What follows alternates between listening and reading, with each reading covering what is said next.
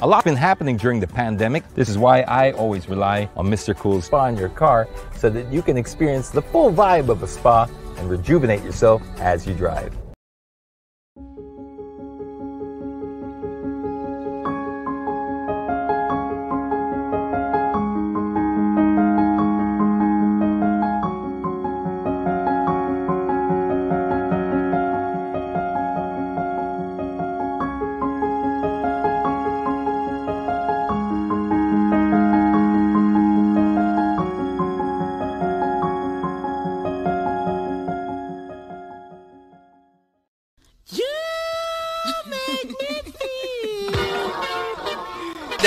Guard you will ever see, but you know he gets the job done. And that's uh, very important in the scheme of things for Foy Banal. On the other hand, Yusuf Al Jamal, very much steadiness personified. Sometimes he doesn't even grabs the boards for this San Beda team. Oh, definitely not. And meanwhile, on the other end of the Yusuf Al Jamal. And the other forward, number 15, Augie. They can stamp their class on the other teams here in the NCAA. Jump up by Al He gets banked a little bit, and that's going to uh, test. They've got a heck of a future, Butch. That's lang lang na maigiyon with, with, you know, Boyet Bautista just managing the clock very well. Ekwe, soft jumper. Al Jamal with the offensive rebound. He is fouled. That's Well, that time around, looks like Ekwe will be taking more medium-range shots to allow Al Jamal to uh, cheese control inside. Watch this. Because if Ekwe pulls Realista out, will be Al Jamal against Mondragon, and that seems like, a, you know, more in favor of San Beda. Kasi yung tal- Ekwe lobs it inside to Al Jamal attacking down. Drop step off the glass. This is not the time to be faint of heart.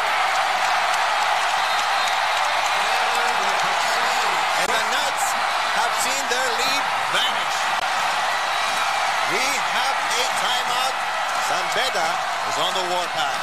Let's take another look at this. Al Jamal. Kaya-kaya niya kainin si Tino Taas sa ilalim eh. Oo. And that's why Louis Alas Realista back on the floor. Four fouls in all. Bautista given daylight. Swatted by Al Jamal. At the shot clock expiring. Al Jamal gives them the lead. Let's go now to Ike. Storming into his front court. He'll attack Al Jamal. You know, Letran has scored only four points here in this period, Bill. So a lot of great defense on both sides in this ball game. One minute, 47 seconds to go. This is a shot block brought to you by Converse, the first school. A minute 47 to go. Nine point lead for San Beda.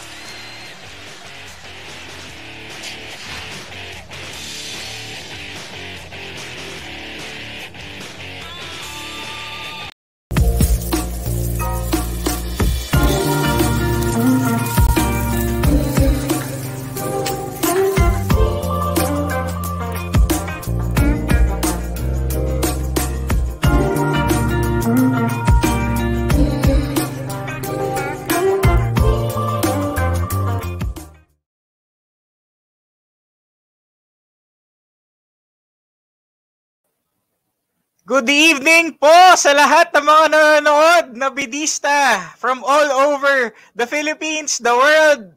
Magandang gabi. My name is Tito Rayu Policarpio and I will be your host for tonight. I'm so very excited because our guest, uh, he's a former classmate, he's a San Beda sports legend, a former King Lion, my God, Ah, lumalabas yung pagka-fanboy ko, no? Hindi naman halata sa tono ng boses. Dahil sobrang idol natin to, na abutan ko to sa San Beda, and we're very fortunate na we're also friends. And nakita ko yung journey nito when he started. He's one of the few Red Lions na ah, bago siya nag-champion, eh nakatikim ng mga talo. ba? So, yung batch nila, started the end 28 at 82. At ito po yung pag-uusapan nating topic for tonight. And uh, before I introduce you our guest, papakita ko po, no? Ito, dala ko. This is uh, the Bedan na issue nung 2006. Ha? Ayan, kung nakita nyo po dito, ito po yung date. Pakita ko lang po yung date, no, para makita nila. Red Lions ended 28 at 82 September, October 2006 edition. So more than 50 years na po itong copy ko na to at uh, tinatago to uh, ng katulad ko dahil isa to sa mga sports memorabilia as a Bedan fanatic, no? And papakilala na natin ng isa sa mga sports heroes ng ating school, walang iba kundi si Yusuf Al-Jamal. My friend, good evening. Good evening. Kumusta kayo lahat? Salamat. Thank you. Beer, classmate. Kamusta, uh, classmate? Maayos naman. Ipakita, ipinakita mo rin naman yung memorabilia mo. Sinuot ko ngayon yung uh, 20, 2006 championship. Grabe. Yes. Ang dami natin pag-uusapan about uh, 2006 but before that we will cover everything kung paano ka nagsimula sa basketball no?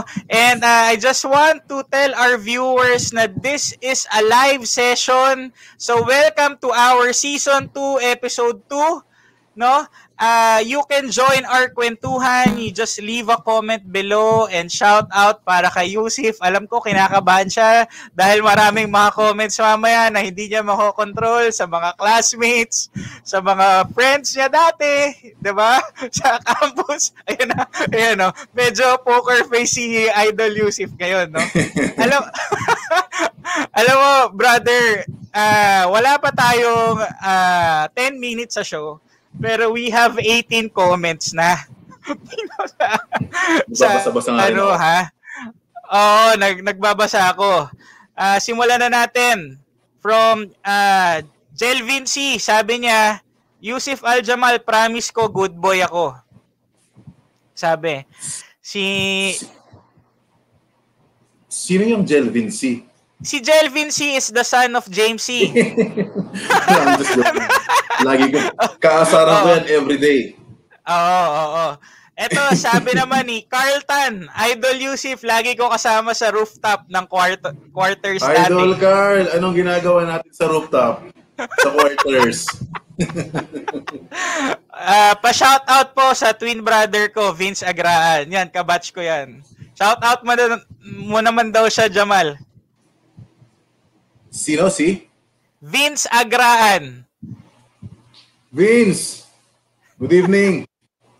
Oh, Vince, natuloy na yung pangarap mo. Isa sa mga pangarap mo sa buhay.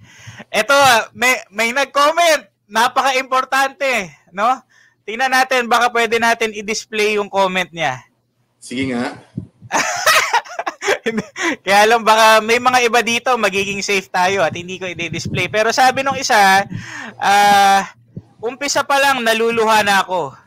Raymond Magay. Kilala mo ba to? Gaw! Gaw! Kumusta ka, Gaw? Oh, Dapat sabi daw, naman magkasama tayo dito eh. oo nga, oo nga. Para mas makulit, mas masaya. I-guess din natin yan. Actually, pag-uusapan din natin si Raymond Dapat. mamaya. Ano? Oo, pag-uusapan yes, din natin. Definitely. Oo. Sabi naman ni Spencer John Karumba, ito na ang jersey. No, so na-excite nila, jersey mo pa lang daw. Ah, uh, sabi ni Lucky, salamat sa jersey. Uh, Idol Yusuf Al-Jamal. Marco Miguel Lozada, si Idol. Oh, that jersey, sabi ni JV Nacario. Eto na, may co-admin natin, si Doc Leslie Herrera. Oh my God. Oh my God daw. Ayan na. Crush na crush Doc, ka nito. Classmate. Classmate oh, classmate din. Eh. Oh, classmate din pala. Classmate ko oh. si Doc. Doc, ayan Hi, Doc. na. Na, na shout out ka na. Regards to all from Cebu Bedans, from Biogitan, kaibigan natin to. Bye! Mayong gabi sa tanan. Ayan na si Yusuf. Mayong oh. gabi. Yan, Mayong no? Ah, uh, ulam mo na yon Rayu. Sabi niya, yun sa commercial natin. De, sponsor natin yon Oo. Wow. Okay. Dapat meron And din then, tayo nun. Eh, dapat meron, oo. Ah, uh, si George Absede, sabi niya, Ghost and Beda Fight, Animo, UIOG, D. Yan. Okay, that in all things God may be glorified. So, Idol Yusuf, uh, pasimula pa lang tayo pero ang dami na nagjo-join sa ating discussion. And as you know, this is live, so ready ka lang sa mga questions natin. 'di ba? na, napanood kasi natin doon sa last interview mo, I think this is with Mikey Reyes, yung journey mo sa basketball, 'di ba? You started from Apalit, Pampanga, and then bago ka nag-San Beda, siguro mag-concentrate tayo doon. Kasi from Pampanga, pumunta ka na ng Metro Manila eh. 'Di ba? After Yes. mo in sa high school. So, Yes. yung journey mo, pagpasok mo sa San Beda, doon tayo mag-focus ngayon. Okay? Yes. Paano ka pumasok ng San Beda? Ano pang school ang pinasukan mo bago mag San Beda after high school? Ah, pumasok ako sa AMA, C- AMA Computer Learning Center sa San Fernando. Tapos San Sebastian. Mhm. Yun lang naman, yun lang naman. Yung iba pinag-tryoutan ko, ah dapat mag-tryout ako or yung iba nag-tryout ako pero umalis din ako. Okay, so simulan natin doon sa AMA. So yung AMA na yon, yung journey mo doon sa AMA, going to San Sebastian, paano nangyari doon? Sino nag-recruit sa'yo sa Basti? Ah, meron kasing tagas actually nakapag-asawa na ng taga sa amin, ah, kamag-anak daw ni ah, Coach Turo Valenzuela. So Okay, Coach Turo, yes. Kinausap niya ako, kinausap niya ako, sabi niya na ah, baka gusto mong ah, samahan kita, pakilala kita kay Coach Turo, mag-tryout ka sa San Sebastian. oh, So, sabi ko, sige, sige, try natin. So, yun, doon nag-start. sa San Sebastian ba nag-team A ka, Yusif? Hindi. Hin- actually, Hindi, hindi ako nag-team B. Okay.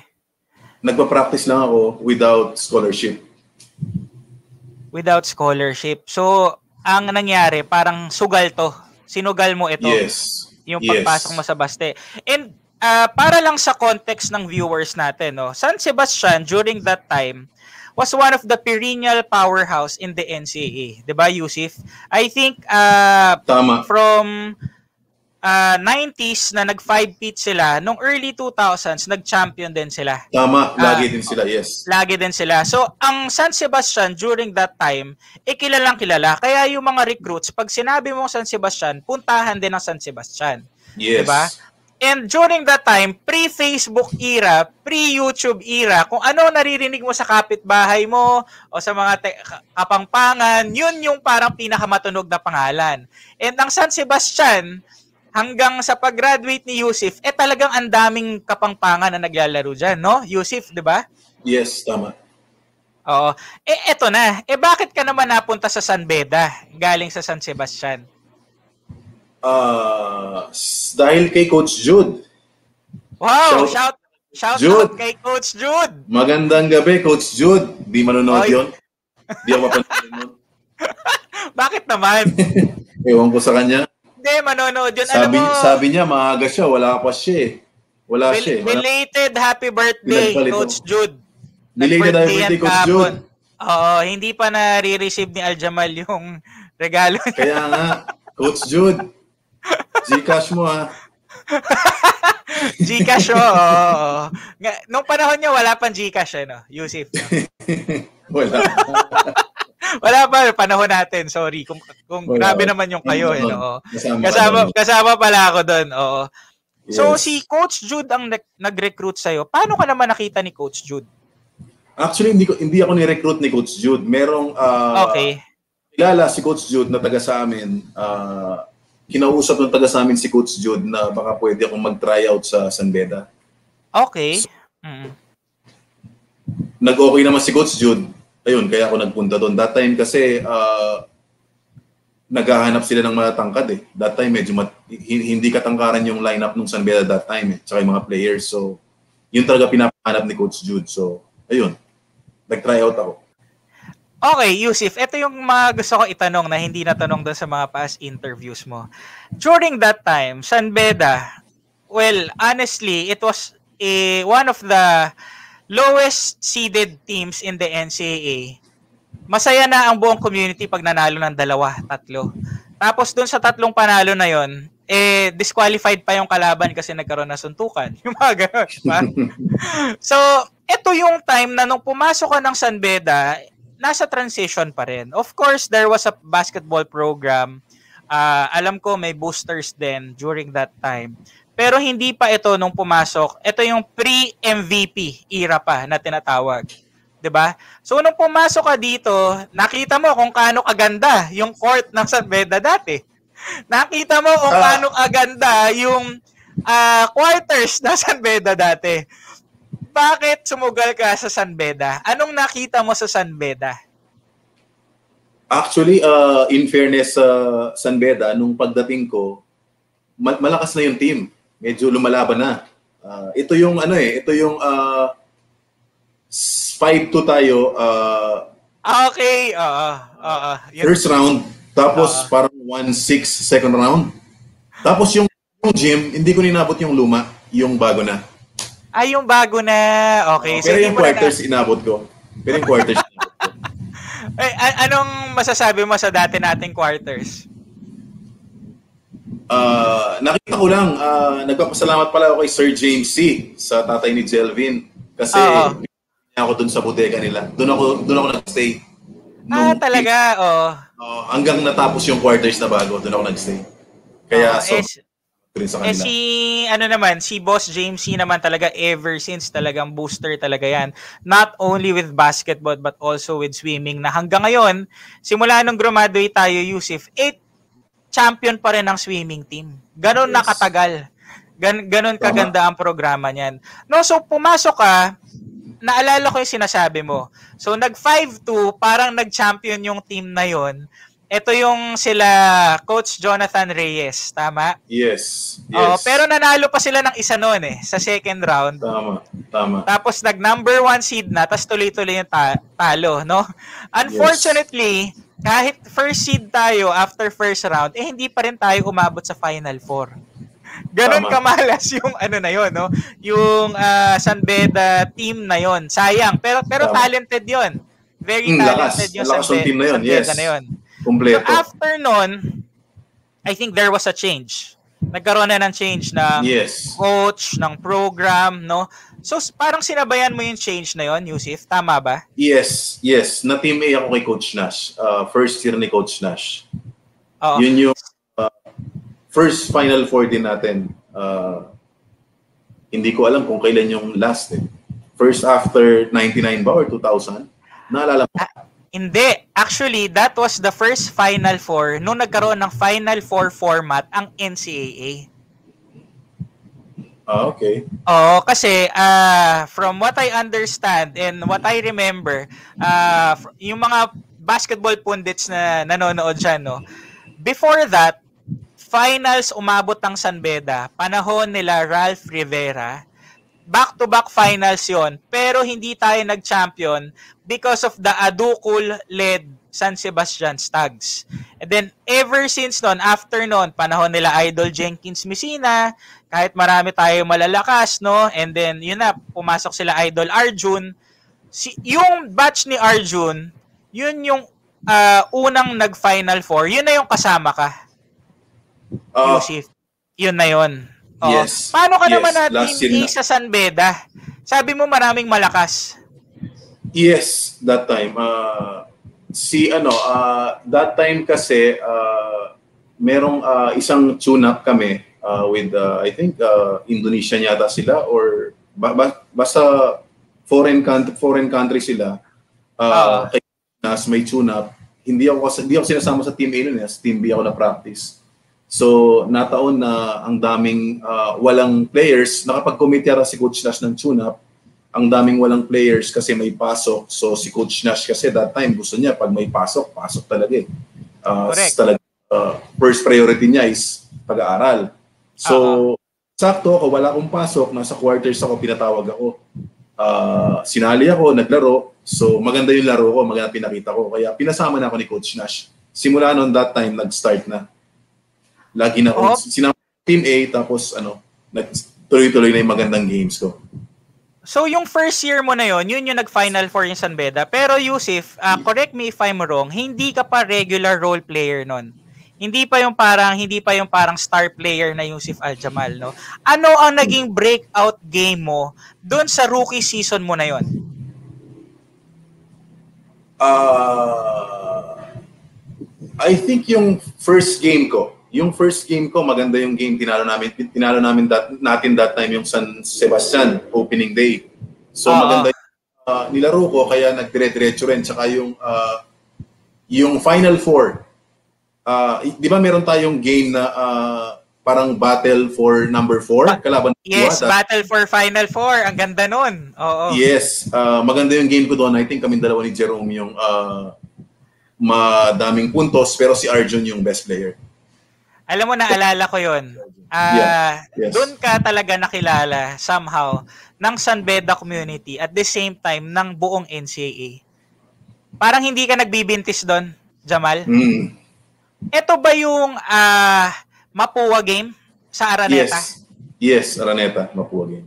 Grabe yon hindi ka nagbibintis kahit saan. Kung, kung napanood mo yung highlights mo kanina, 'di ba? Ano ka eh, parang pa- para kang Dirk Nowitzki somehow na Wow. quattro, na may shooting, na malakas rebound. Pero more than anything, sa first year pa lang nung pagkakita namin, iba yung hustle mo, Jamal. Kaya Mm. nagustuhan ka ng mga tao. Ano ano feeling mo na pag hanggang ngayon na pag ina pagka ina-attribute yung laro ng isang Yusuf Aljamal, saan ka nakikilala sa three-point shooting mo o doon sa hustle mo sa pagka-rebound? Uh, yung uh, I think yung hustle kasi tsaka sa Oo. yung kasi uh, nung college uh, I don't know kung anong nangyayari sa akin noon pero grabe ako rebound that time although Grabe. Ibang klase. Oo, oo. hindi ko rin hindi ko rin magets actually parang ang amo ng bola sa akin laging bumabagsak sa akin yung bola konting galaw ko parang malapit sa akin yung bola parang ganda ng Oo. timing sa bola Ang dami. Kumbaga sa ang dami mong pulot, yung Mm. 'di ba bintes tapos offensive rebound, yes tira ganun. Pero grabe yung effort mo kasi, Yusuf din. Yes. Nung nung time na yun na hindi ko makakalimutan because that time yung Final Four team na yon sobrang kumpleto nun. Ang kulang lang nun sentro. Kaya Mm. sobrang ik- ikaw yung naaalala namin kasi lahat ng kalaban natin matatangkad. 'Di ba? Yes. Kumbaga sa Letran may Big Mac Andaya, 'di ba? Tapos sa ah, Perpetual may Vladimir Joe, sa PCU may Gabi Espinas. This was pre-Equitime. So we have to remember ladies and gentlemen, no. Makakita ka ng 6465 na sentro nun, eh swerte na. yes 'di ba? And grabe kayo, ah, naalala ko, Yusuf Aljamal, Jerome Paterno, Arjun Cordero, Jeff Bombeo, Alex Angeles, parang parang dream team 'yon, no? And you you are one game short of the final stint. yes tama Oo, so ah anong feeling ah Yusuf nung kasi ito yung mga hindi na na nakwento doon sa last interview mo no. So take Mm. us ah doon sa moment na yon, sa journey na yon na muntik na tayo mag-finals at, at yung mga last two minutes na yon kasi ito yung ah, nanalo tayo ng game 1 sa final four na to against Perpetual. 'Di ba? Against Kelmisa, Yes. Noy Javier, Vladimir Joe, ba- Bauzon, ang lakas din ng Perpetual na 'yon, Yes. 'di ba? yes So yung game 2 na 'yon, nilagay sa Rizal. 'Di ba da- sa Tama. Araneta dapat i- Dapat. i-ano mo nga, ikwento mo nga sa amin kung ano nangyari noon, ano ano yung feeling mo noon.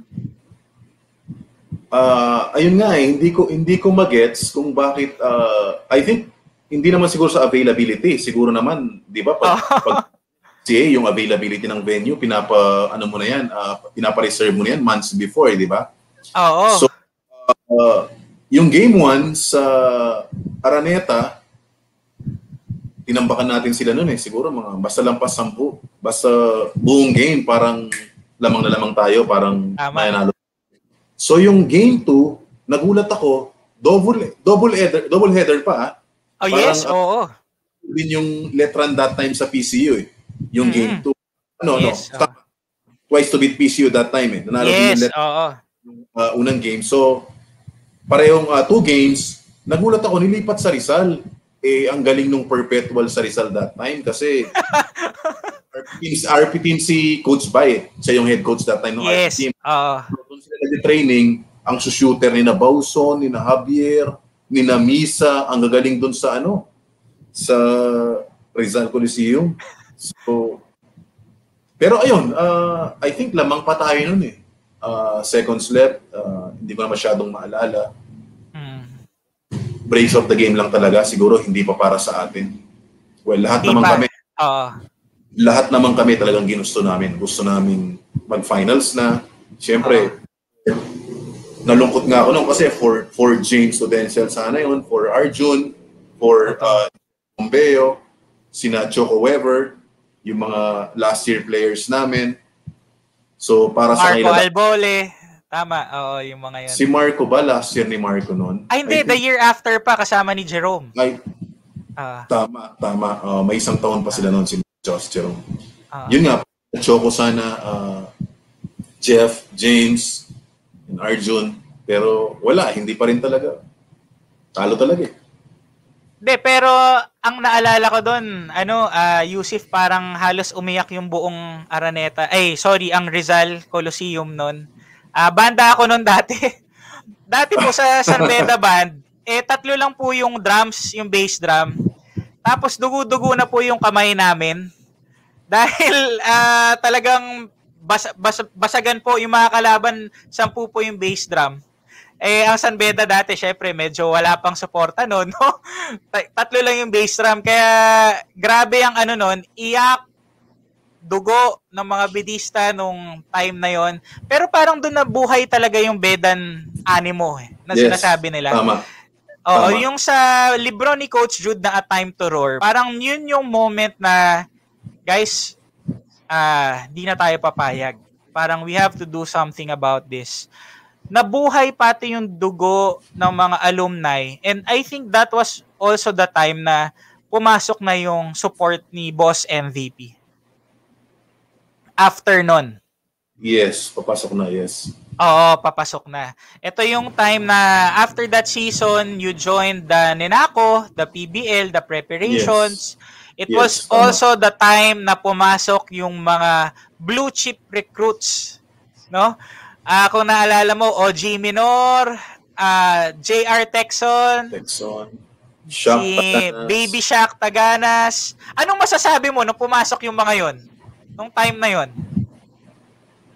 Kasi that time, uh, ang gagaling nung tatlo na yun eh. Si si Shaq, si OG, tsaka si, ano, si JR. Oo, Hindi na- grabe. Actually, hindi namin ini-expect talaga na pupunta sa San Beda. Lalo na si OG. Kasi, alam mo na, ang laki nung ino-offer nung ibang school. Oo. Tsaka, tsaka never naman tayo nagkaroon ng, uh, si Arjun lang pala, ang, ang, yes. ang Oo. star player nung high school, dumiretso ng college. Di ba? So hindi rin kami nag ano, hindi rin kami nag ah, hindi rin namin ah, ine-expect, nag-expect na pupun na aakit sa seniors. So naging masaya kami ayon. Nung ano, pumunta sila kasi yung future gaganda na talaga. Baka sakaling susundan na ng mga ibang generations na Bedan High School. Yes, oo. I think that was the first batch na parang ah ito kasing mga nabanggit natin, sila yung parang cream of the crop nung high school batch na yun sa buong Pilipinas eh. Kumbaga Yes, lahat ng tama. school talagang nire-recruit sa kanila. Ay sa ah doon sa batch na yon, alam mo ah, before that ah, yung mga batch nila JV Casio, nila Ford Araw, nila LA Tenorio, lahat yun walang pumunta Wala, sa San? Beda eh. Si Arjun lang. 'Di ba? Kaya grabe Yes. din, sobrang daming may idol kay Arjun, no? So yung Tama. match na yon, si OG muntik pa maglasal noon. At kung hindi ako nagkakamali, malaki rin ang tulong ni Secretary Art Togade dahil isa siya sa mga kumuha kay OG nung nasa Lasal na siya at binalik daw sa San Beda. Yun ang kwento-kwento. Tama ba yon Jamal? Hindi lang ako sure, pero parang, parang Para ba may gusto ka ba sabihin na matagal na panahon na yun? kaya nga eh. Oo, wag ka Si mag-alala. OG, si, si OG mas nakakalam nun para pag sa interview kay OG, at least. Alam mo, sasagot- interviewin natin si OG. I think si OG is uh, in the States right now. Kaibigan Yes. din natin yan, no? Ah, ang napakadaming kwento din ni OG Menor. Pero, Jamal, yung this is your second year, no? Pero tong second year mo na to, hindi rin kayo nag-playoffs eh. 'Di ba? Hindi, hindi. Na out kami that time kasi medyo ah, nagkaroon ng konting problema. Oo. Ah, ito na yung somehow ah pagka tang, pagka tanggal ng San Beda, hindi umabot sa Final Four, nagbago na naman yung coach. So, ah, National was Kalahati nung, out. kalaha, kalahati nung season. Yon. Yes, oo. Parang last round four, pilitan five si coach games. Oo. Ah, tama. si, ano na, Coach Koy Banal. Coach No? Koy. Tama. Pagpasok ni Coach Koy, ah, hindi na rin nahabol sa Final Four. Pero ito na yung na. das, somehow this was the start of the parang turnaround, 360 turnaround. So Yusuf, Yes. ah kwento mo naman sa amin. Ito na yung rookie Team B na sobrang lakas. Ito Tama, na yung pumasok tama. si Sam, si Pong, Si Pong, si Yes. Borgie, si Borgie, grabe. sina no? Taupa, sina Taupa, Kevin oo. Sina Micah Evangelista. Grabe. Malakas, malakas Alam- yung team na yun. Alam mo, nanalo pa yung Team B na yun sa ano. Grabe ang excitement sila. ng bed. Oo, sa Bedan Community. Nag-champion sila sa mga liga, yung mga summer leagues, no? Tama. So, na- na-excite kayo nung nakita mo yung grupo na yon Napapasok Oo na ito na yung tutulong. Oo naman. Ah, Nung nakita mo si Sam Ekwe, tingin mo nag, ano, parang champion na tayo? Nung una, ah, hindi na hindi pa. Kasi nung una talaga hindi wala pang hindi pa ganun kaano si Sam. Eh. Parang ah, pagdating niya, chinaga lang siya, I think, sino ba yung big man coach namin noon? Parang si Coach Freddy Abuda. Freddy Abuda, yes. Oo. Pagdating ni ni ni Sam, oo. Oo. Si Coach Abuda. Sinaga niya, asin si Sam noon, ah, depensa given sobra, sobrang Ah. ano na yun. Tapos sa lakas tumalon, pero sa offense talaga tsaka sa pag-dribble, parang wala pa siyang alam, natsaga siya. oh, after nun, yun nga, ito yung pagdating niya, eventually kasi nung, nung team B kasi sila, gumagaling na talaga siya, nag improve na eh. So nakikita din sa school, kaya ah, yung ibang school nun, pinaganda na San Beda, parang sinabi na, parang parang na-intimidate na kagad yung kalaban sa atin Oo. kay Sam. So, nung kalaban natin yung ah, pagdating nung NCAA season, parang yung mga kalaban natin, parang makikita mo, parang nakayuko na. Parang alam mong hindi lalaban, parang tanggap na ilang talo. nung, nung, nung time na yun, ha, nung, nung season na yun, until ah, nangyari nga yung PC. Kasi mga, mga, mga summer league nun, nung, nung nagsama-sama na kami, di ba yung mga summer league na Yes. tama na yung mga Team A, mga Father Martins and all, hindi kami tinatalo eh. Tapos puro mga tambak. So kaya nadala yun sa sa regular season, sa NCAA. So pagdating nung regular season, ganun pa rin until matalo kami ng PCU. So tumaas yung kumpiyansa ng mga ibang teams. Kami naman medyo parang bumaba ng konti. So, Ah. ayun. Ah, Yusuf, ikwento mo sa amin yung pagdating ni Sam Ekwe sa San Beda.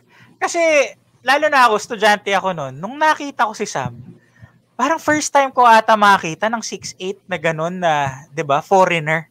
'Di ba? Nung unang ah, practice nyo with Sam Ekwe, anong feeling? nakakagulat kasi yung practice namin noon kay Coach Koy, I think 5 a.m. eh. Alas 5 Ah. ng madaling araw. So, alas 5 ng madaling araw, makakita ka ng ganung ka, kata- ganung ka-itim. So, magugulat ka. So, Ah. nagulat. Tapos, galing siya sa biyahe, biyahe noon eh. Dumiretso sa practice. Pagdating sa practice, parang di na mapagod. Parang, yun, parang kangaroo yung bilis tumakbo. Hindi na mapagod. Sam, if you're watching, Bato, ah, bato. hi, hi, hi to you, Hi, Sam. Sam. Is What's up, uh, Sam? commenting sometimes in our page. I know he understands a little bit of Tagalog already. Yes. But you Hi, know, Sam. for you, we're we're going to speak in English just for this time. Okay, Sam. Okay. I'll try my best. so anyway, sige, Yusuf. Tapos, first practice ba nakailang block si Sam Ekwe? Madami. Uh, hi- hindi hindi kami sanay eh. Hindi Oo. kami- Ano? So parang yung tira namin, hindi namin, hindi, hindi namin binabago, hindi namin binago. So, hindi namin alam na aabutan niya eh. Kasi nilulobo konti pero inaabot pa rin niya. So, Ah. sobra yung defense ni Sam. Yung timing niya, the timing of Sam is yes, magnificent. iba. Magnificent Sam ha? Oo. Hindi, sa, totoo naman eh. Kumbaga, yung Oo, opensa, baka on the third year na ni Sam Ekwe na develop Yes. yun. Pero kung titingnan Yes. niyo yung, ano niya, yung first year niya, eh walang alam yun kundi tumapal, rebound, at ah, mag-slam dunk. Diba? Oo. Y- yung, yung first year. Yusuf, since nandito na tayo kay Sam Ekwe, kaano kalaking impact si Sam Ekwe sa career mo sa San Beda? Kasi somehow, nung time mo na before Sam, isa ka sa mga premier big man, lagi ka nasa ilalim, Tama. low post, ganito, ganyan. Pero nung nagkaroon ng Sam Ekwe, kumbaga napunta ka doon sa parang natural position mo na 4. Tama. Diba? Tama. Oo. Tama. Paano kalaki yung impact ni Sam Ekwe sa, sa basketball career mo sa San Beda? Sobrang laki. Kasi ah, pagdating ni Sam, third year ko na eh. So, syempre Oo. nag-iisip ko ng professional league. Yes. So, time, alam ko naman na professional league, 5, di, di ako pwede doon na maging ah, Oo. sentro. Ni power Oo. forward, sobrang liit ko eh. So, ang laking tulong ni Sam, parang blessing sa akin si Sam kasi na-develop ko yung ah, ano, yung shooting ko dahil sa kanya. Kasi ah, Oo. nandun siya, so na-open ako dahil sa kanya, dino-double team siya. Oo. So nag-gansa ako. Although talagang pinractice ko rin at inaral ko rin yung ano ko yung ah, shooting ko, talagang nag-exert din naman ako talaga ng effort para ma-perfect yung ganun para at least yes, paano. syempre. Mm. Ah, yes. Pero Yusuf, yung time na yon somehow, parang, uy, salamat si Sam nandun. Kasi, syempre yung depensa, minsan dino-double team siya. So, yung ano nyo, somehow may nalilibre. No? Tama. Tama. Ang laking Yun- tulong yun- Oo. Yeah. So, take us, uh, take us again doon sa end 28 at 82. Kasi gusto ko mag-focus tayo dito, no? So, kasi we're talking about Sam na pumasok na si Siyempre, Davao point guard Pong Escobar, 'di ba? Yes. Kasabay ni Sam. Oo, eto na yung Pong, somehow kamusta? parang Pong, baka nanonood ka. Hello, ha? Ah, classmate din natin 'yan. Eto na yung parang grabe iba yung San Beda ngayon may angas na. Parang from all positions. Tapos grabe ang lalim ng bench ng San Beda. Yes. First yes. time na pag may nilabas kang isang gwardya, paglabas ni Alex Angeles, may papasok na Borgie Hermida. 'Di ba? Ganun kabigat. Tapos, Diba? Tapos Chico pag may nila-. Pag may, oh, Chico Terona pa. Hi, Chico. Yan, nanonood din sa show Yes. natin yan. Pag may nilabas kang Yusuf Aljamal, papasok si The Black Lion, Raymond Bagay. Tama, yan yung matindi. Sige, i- i-discuss naman natin to, no? Si Raymond Magay, ah, somehow, sino bang best teammate mo sa San Beda? Best teammate ko, ah, si Magay talaga. Si, Magay. talaga. Si Magay Oo, is my guy. Magay is my guy talaga. Kasi sabay na sabay Ah. kami pumasok. ah, nung first nung first practice nung ano ah, namin sa San Beda, first tryout namin na gawa na yung gym sa Beda, yung bago. Nagkasabay kami sa gate. So Ah, okay. nagkwentuhan kami. Kami na yung, siyempre, parehas kaming tryout, kami na nagkakausap. Hanggang after nung practice, ah, sabay kaming kumakain sa karinderya. Di ba? Gaw? Oh, Gaw? Gaw, nandiyan ka na ba, Gaw? kanina pa nandyan si Gaw mo. Ang dami Gaw. na sinasabi sa comment. Kaya nga eh. So, kami yung kami talaga yung ah, magkasama lagi. Although si Magay kasi nasa ano siya eh, nasa ah, taga Antipolo siya eh. So, uwian siya. So, sa quarters naman, meron akong sobrang ah, naging kaibigan, na sobrang kasama, naging mentor ko rin, si James Hudensial. Kaibigang James.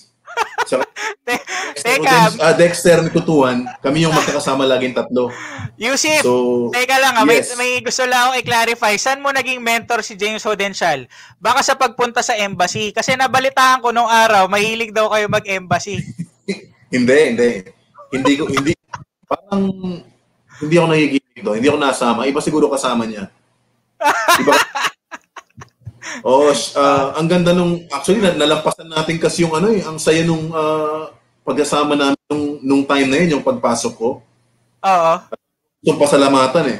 Si, ah, pasalamatan ko muna si Dexter Mikutuan. Sige, oh, okay, yes. Hi, Dexter, if you're Kaibigang watching. Dexter. Kasi that time, ah, ang laki nung tulong sa akin ni Dex kasi ah, that time kasi mga ni-recruit nung San Beda na galing Cagayan, parang may may allowance kay may may free meal kay Sir James C. Okay. Kung alam mo yung Uncle Tontons, di ba? Nabot mo yun? Siyempre, siyempre, Di ba? ang sarap ng gravy nun. yung Uncle Tontons noon, ah, kasi kami nagkukulang kami sa pagkain eh, that time eh. Hindi pa naman. Eh, sigurado. Lalo na kung ka lang. Ilan pa. rice mo nun, Yusip? I think puro rice dun eh, walang ulam eh. Kasi timbi pa. So Dexter Ah. meron siyang, may meal siya dun kay Uncle Tontons na galing kay Sir James C. Hinahatian niya ako. As in, hati kami, sinasama niya ako lagi. Kaya siya rin lagi kasama sa quarters nun. Kaya, kaibigan Dexter, iba ka. Yan, kami tatlo na James, sobrang close. Potential. Oo. alam mo si James Hodenshaw, pag sinabi mong James Hodenshaw, parang ano eh, yan ang original hi- high flyer. Talagang slam Sobra. dunk king yan. Oo. Talagang Sobra. ah, ibang klase si ano. Ah, kung nakuha mo yung ah, pag ah, kung kaano kataas tumalon si James Hodenshaw, Yusip, grabe ibang klase ka siguro baka umabot ka sa NBA. Grabe, oo. Lakas Ibang sumalon klase ni kaibigan James. Pero grabe yung naitulong sa akin noon sa shooting. Ni kaibigan Kasi nagkakumpiyansa ako kasi lagi kami nag-shooting. Sa akin laging pasok, sa kanya laging mintes. kaibigan James. Ah, nilaglag ka na ni Yusif. Ah, lambing ko lang sa kanya yon. Oh, ito sabi ni ano ni Raymond Magay. Speaking of, sabi mo kasi best teammate mo. Ano si Ray- Raymond niya? Magay. Ang sabi niya kanina, cute pala si Idol Yusif. Sana ma-meet ko siya soon. Gaw! Kumusta ka, Gaw? Ibang klase. Alam mo, magbanggit tayo ng mga shoutout muna, no, Yusif, no. Nakakatuwa. Sige, Ang dami- sige, dami. sige. Kuya Joey ng IMC, Animo San Beda. Sabi. Kuya Joey, kumusta? Kong kausap. Jeff Angara, shout out and regards kay paring Jamal, isa sa sa naging mabuting kaibigan ko sa San Beda. Jeff Angara. Thanks, Jeff. Ah, si ano, Patrick Bondok, gandang gabi idol, Al Jamal and Brad Rayu. Dok, kamusta? Doc, salamat, Doc. Ah, ang kulit ng batch na yan, Jamal. Na Oo. grabe rin yung batch na yan nila Bondok. Yan ang Sobra, presidente oo. ng San Beda Marketing. Pero parang hindi Oo. presidente yan, ang kulit niyan. Ang kulit niya sila. nasa ano yun eh. Maski na, maski na perpetual tsaka PCU naglalaban dun sa ano, lagi nandun yun sa ano eh. Sa Alam mo, eh. grabe, grabe yan sila Patrick Bondok. Alam mo, Dok, Ah. ikikwento ko na to ngayon lang, ha, pagbigyan niyo ako kahit live. Dahil grabe yung batch yun, sobrang gulo. Talagang, talagang naha-highlight kayo sa buong arena na, na papalabas kayo lagi sa TV, kung ano-ano mga dinadala nyo. Kayo yung mga nag-umpi, nag-uumpisa ng wave. Sila yung mga tumatalikod sa halftime. Tapos grabe yan, Jamal, sa asaran. Hindi matatalo yung barkada niya nila Patrick Bondok. Ibang klase yan. Tama, tama. Oo. Tama. Ah, hi, classmate Rocky Agama. Si ano? Texon ha, na nanonood din. Hi, JR Texon. J-Tech, J-Tech, kumusta? oh, ito, professor mo. Late daw siya. Hi, ah, Mr. Darwin Ketwa. Sir, Sir Darwin. Salamat Ah. siguro mga limang subjects yata na ipasa sa akin si ni Sir Darwin. maski na maski na English si uh, maski na English uh, subject mas hindi tinuturo ni Sir Darwin sa kanya ako nag-enroll ng English. Sir, salamat. Ah, Sir Darwin. Grabe, siguro ano kapalit nun? Ticket siguro, no? Okay lang yun, Sir Darwin. hindi. Wala ka na sa meta. Si si Sir Darwin, di kailangan ng ticket yan. Nakakapasok yan dun sa mga, al- alam mo yung mga, mga, ano, kayang pumasok ni Sir Darwin dun, walang ticket. Ay, sir. Ay sir, si ano, Rocky Hondrade, sabi niya idol yan. Pare, pare, kumusta? Uh, Chang Gakutan, sabi niya classmate Aljamal. Classmate, good evening. Oh, sabi ni ano ni paring Angelo Hero, sabi niya kapag si Yusuf Aljamal nabigyan ng bola, pasok lagi yan. Tsaka masipag daw talaga mag-rebound. Kahit kalaban Salamat. ibang sentro ng mga school. Salamat, Angelo. Salamat din dun sa ano, sa mga face mask. Ang galing. Yes, actually magpaparaffle tayo later ng mga face mask. Face mask Yes. ni Angelo. Ganda, Oo. ganda. Sobrang ganda. Sulit. Solid. Oo. Sabi ni Party Rock, sabi niya, idol ko to, Alvin Patrimonio na pinabata. Tumira yan ah. Uh, attorney, kumusta ka? oh, si uh, Ano yan, ano yan? Mamaya na yung mga alal.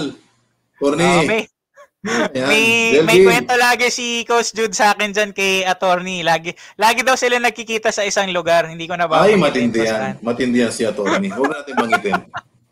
Oh, sabi naman ni William Sarial, kaya ah hi Idol Jamal. Kaya nagbintis si Belga. Mamaya ba pupunta tayo diyan. Teka, teka, mamaya Sige, sige. William Sarial ah. May may ano sa'yo, Pards, ay lodi ko 'yan. Sabi ni Bam Bam Gamalinda. Pards, kumusta ka Pards? Oo. Alam mo, shout out kay Bam, no? Kla- naging classmate din Yes. natin to, Yusuf. Oo. Si Bam, right now, is a part of the N28 at 82 team na siya na lang ang nasa PBA ngayon. Yes. Shout Sobrang out, Bam. ni Bam. Oo, Shout out, tsaka, Bam, Galing, galing. Bam. Tuloy mo lang, Oo, Bam. make, make us proud, Bam. Yes, we're rooting for you, Bam. Go. Oo. Pards. Ah, Animo, sabi ni Ri- Richard Siction, solid daw ng jersey mo. May ano pa, may mura pa. Shit, sabi ni Lex Vigo. Monsi Simon, Animo Sanbeda, Julius Cesar Cruz, hello. Ay, pre. Ryan Arambulo. Ray. Oh, yan, Ryan, Ray. Hello. Ah, Joseph Farin, Idol, Animo. Yan, mga Farin family. Lagi nanonood yan. Tsaka ng San Beda Games. Grabe yan. Sila yung Unilab eh. Jamal, yung daddy nito, si Tito Jerry Farin. Posing Mm. sa Unilab to, kaya may tinatawag na Unilab Bedans. Magkakasama lagi nanonood ng San Ah. Beda yan. Kaya, kaya Ba- sa Unilab, alam nila pag may San Beda game kasi wala lahat ng medrep. Nasa San Beda. Meron din pala ano dito, may ah, may nag-comment, nag-follow up ng ah, application daw sa Meralco. Buds, bukas ng ah, alas 8 ng umaga yung pasok ng mga ano namin eh. Mga, umaga, nasa inyo na yun. Ah. Complete uniform na yun. Antindi. Antindi, nag-follow up pa sa Meralco, ha? Ito, ano, teammate mo rin to dati. Idol, sabi ni James Timonera. James, si Timoy, ah, ah, shout out kay Timoy, ah, ah, class, hello? Nawala ako? Nawala ako? Yan, me, Okay. Ayan, medyo okay na. Ayan, go Okay. ahead. I think lahat ng mga inabot si Timoy, ng mga ah, teammates ko, mag-a-agree sila na si Timoy ang pinakamabait na player na nakasama namin. Timoy, Wow. James Timoy. Timoy, Actually, ako, I, I would agree. Hi, Sobrang James, no? Tsaka, nakikita ko sa Sobra campus, si sobrang Timoy. bait.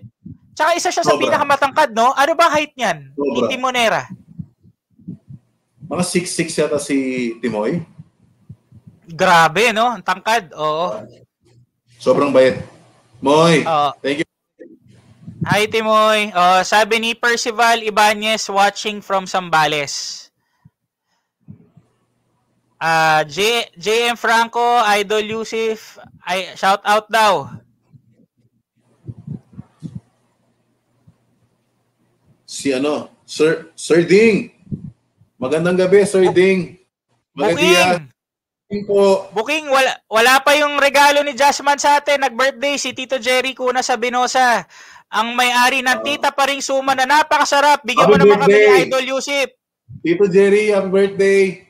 Sarap Ah. ng suma niyan, ibang klase.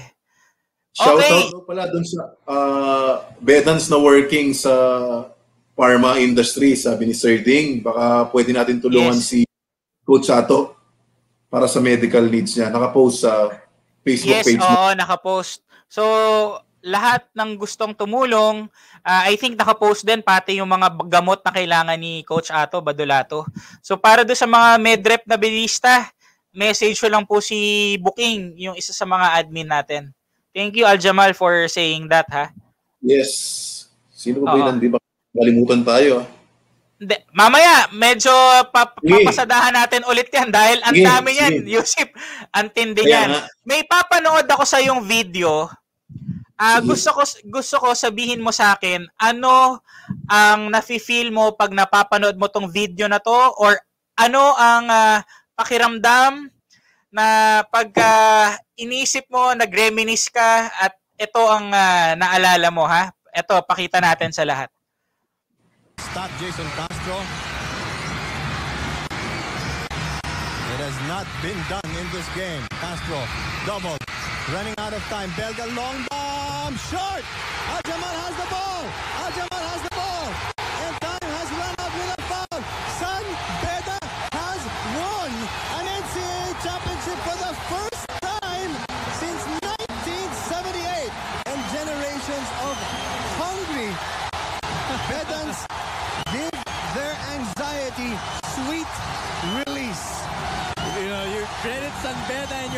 for them. 28 years, but you know, PCU nothing to be as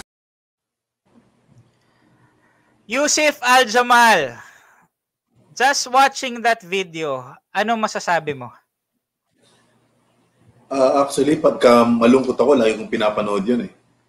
Grabe, yun yung ah, one of the best moments of my life. Ah, kasi ah, pagdating ko talaga sa San Beda, yun yung gusto kong mangyari. Parang ah, pinangarap ko talaga na naging aware na ako eventually dun sa long drought natin. So, parang pinangarap ko talaga na matapos yun na kasama ko sa team. So, uh, kaya nung pagdating nga nila, nila Sam, nila Pong, nila Borgie, sina OG and all, kumaganda yun yung recruitment sa Beda, parang ginaganaan ako lalo kasi parang pwedeng magkatotoo yung uh, yung pangarap ko pagdating ko ng San Beda na mak- makapagpa-champion. Uh, going back to that game naman, uh, last mga five minutes nung nung game na yon, parang iba na yung focus ko, parang parang lumilipad na, parang hindi ko na alam ang gagawin ko. Nung nung nung time Oo. na inuun ng PC yung yung yung lamang, Grabe hindi yun. namin nangyayari sa amin, hindi kami nakaka-shoot. As in, uh, parang, parang feeling namin, gusto namin sana matapos na yung oras para lamang pa rin kami mas iba paano. Hindi naaabot nga dun sa dun sa chance na magkaka-last shot pa sila na which is nangyari na baka pumasok, matalo pa tayo. Siguro, uh, well, mabuti naman hindi nangyari. But if nangyari yon siguro pinakamasamang uh, bakit uh, well, sa San Beda, nan, nandun na eh. Lamang na lamang ka. Parang hindi ko alam kung ano nangyari. Kaya nung pag-rebound ko ng bola, hindi ko pa alam yung oras eh. Hindi ko alam na na nawala ng oras until nagtakbuhan na nga yung mga tao sa sa court. Doon ko na nalaman na tapos na kaya kita mo yung reaction ko para akong tanga. Grabe. Jamal, i- ilang days kayo nag-celebrate after no championship na yon? Aba, matagal-tagal yun. Ah, parang ah, yung pinakamatagal naming break ah, pagdating ko sa San Beda after ng season. So, Oo. Hong Kong kami that time. Oo. Di, gra- Yun. grabe, Jamal. I think yun na yung somehow, kung iisa-isahin natin, kasi ito naalala ko talaga dahil nandun ako. At ah, hindi rin makakalimutan ng mga ibang bidista to. N28 at 82, muntikan pa daw ma-Benny Cheng, sabi nila. Yun yung, kung pumasok yung tira Tama ni. Belga na yun, iyak na naman tayo. Yan ba yan? Yan ba yan? Yung jersey na yan, Jamal? Yes. Yan yun, 82nd yung- season. grabe. daw. Yes. Grabe, oh. Guys, ah medyo mahal na yan. Alam nyo kung saan, sasabihin ko po sa inyo kung saan yung bahay ni Yusuf Al-Jamal. No, pwede nyo pong kunin. Mara, mara, itago mo yan na maigi, Jamal. Maraming gustong kumuha dyan. Sa jersey na yan, grabe. After nung championship na yun, or siguro during that moment, that moment, ah I'm I'm talking about at least mga 15 to 20,000 bedans inside Araneta Coliseum. Ganon Yes. karami. This was the first and last time na nakita ko na ganon karami ang crowd. Lahat yata ng batches ng San Beda pumunta, nandun, magkakasama, and grabe yung euphoria. Lahat Tama. tears of joy. Yusif, lahat umiiyak, nagahag, hindi ko kilala yung mga nasa tabi, nagyakapan. Paglabas mo ng Araneta, grabe, parang pare, shot, shot tayo dito, lahat ganon. Kung kami, ganon, mga kapwa bidista, paano pa kayo, no? You were treated as heroes, as legends. And ito rin ang time na nagkaroon ng Menjola party na ang parking umabot hanggang nagtahan. Tama. First time na nakita ko na ganun, na ganun karami, nag-enjoy. I think people from different ages, from the owner of McDonald's that time, sila George Yang, the, the, his batch, yung owner ng uh, PGA cars, 'di ba? Nandun, grabe, may billboard tayo sa EDSA and everyone was celebrating. Sobrang sarap pag inaalala ko 'yon, walang makakatalo sa championship na 'yon. Ah, iba talaga 'yon. And Yusuf, eto na no. So nag-celebrate kayo ng sobrang tagal. Ika, isa ka sa mga players sa N28 at 82 na naranasan mo na wala pa masyadong suporta yung San Beda. Tama. Tama? Oo. Tama. Nung nag-champion kayo na yun, explain mo nga or ikwento mo sa mga tao kaano ka grabe yung suporta na nakuha nyo sa alumni na kahit saan kayo pumunta sa Amerika, may tumutulong, mga Southern California Bedans. Yes. I-explain mo nga yon Yusuf, yung mga time na yon Tama. ah actually, maraming uh, uh, shoutout ko rin sina Tol, June, Castillo, June! Yes! Tol Vic, sa California, sa LA, sina Kuya Yes. Teddy Latos. Yes, hi Teddy! Co-admin natin niya. yan. Oo. Pag pumupunta kami ng uh, States that time, todo alaga sila sa amin. Pati family Oo. nila. Para kaming mga anak din nila. Salamat sa mga bedan sa LA, sa States, sa buong States. Salamat. So Yusuf, yung suporta na yon, I think yung December nyo punong-puno. Parang yun nga sinabi mo, yung batch 86, ah invite kayo sa dinner, sa party. Kumbaga, Yes, kaliwat yes. ka ng party, Oo, kaliwat ka oo. ng suporta, abot sa mga players. You were having the Tama. time of your life, Yusuf, noong mga panahon na yun. Tama. Oo, tama. Tama. Sobrang dami. Sunod-sunod yun. Hindi Tapos ko ang na tatanungin kung magkano yung nakukuha mo ha, na mga abot sa ibang alumni, pero nako, ang dami nun. Ang sarap na maging player siguro ng mga panahon na yun. Oo, oo, oo naman, oo naman. Kahit sina, ah, sina Boss Mike Advani, sina Tito Art Tugade, sina Boss Yes. James Tan, Oo.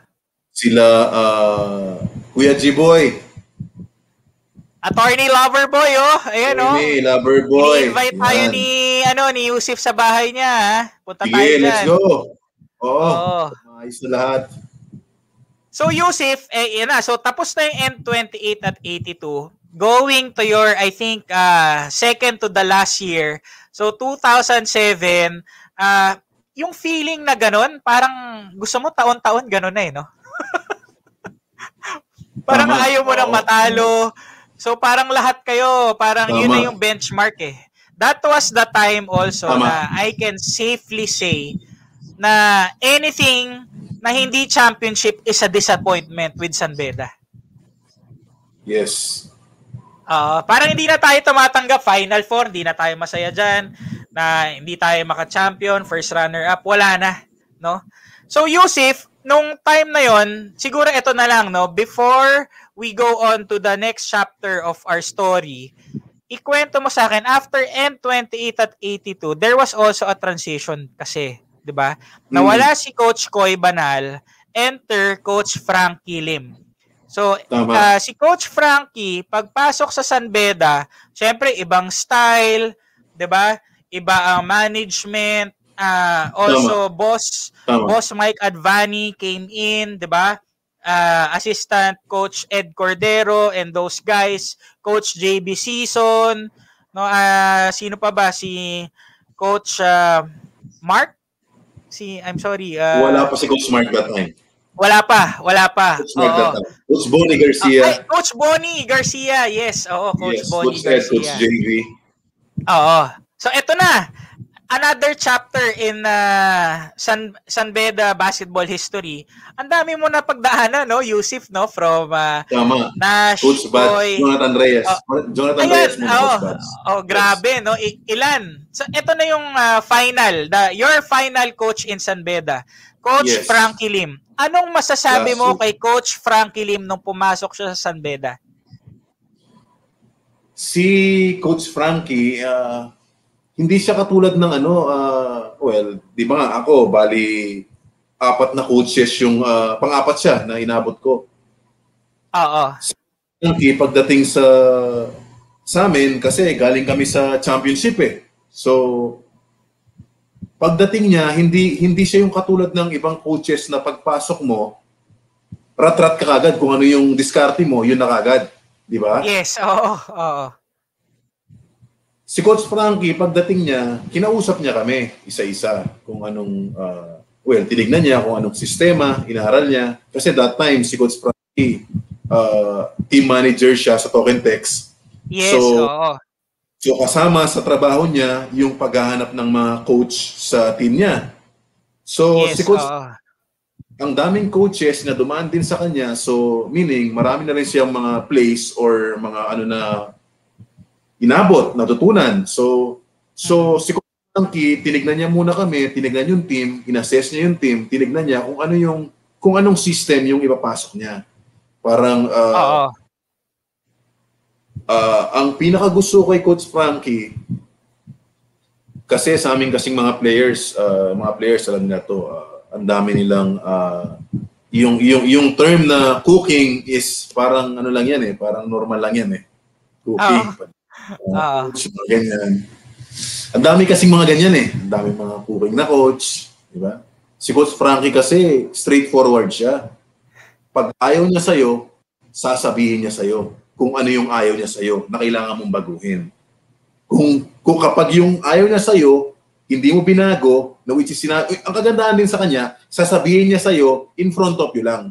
Hindi ka sa- kasama ng mga ibang tao na ipapahiya ka.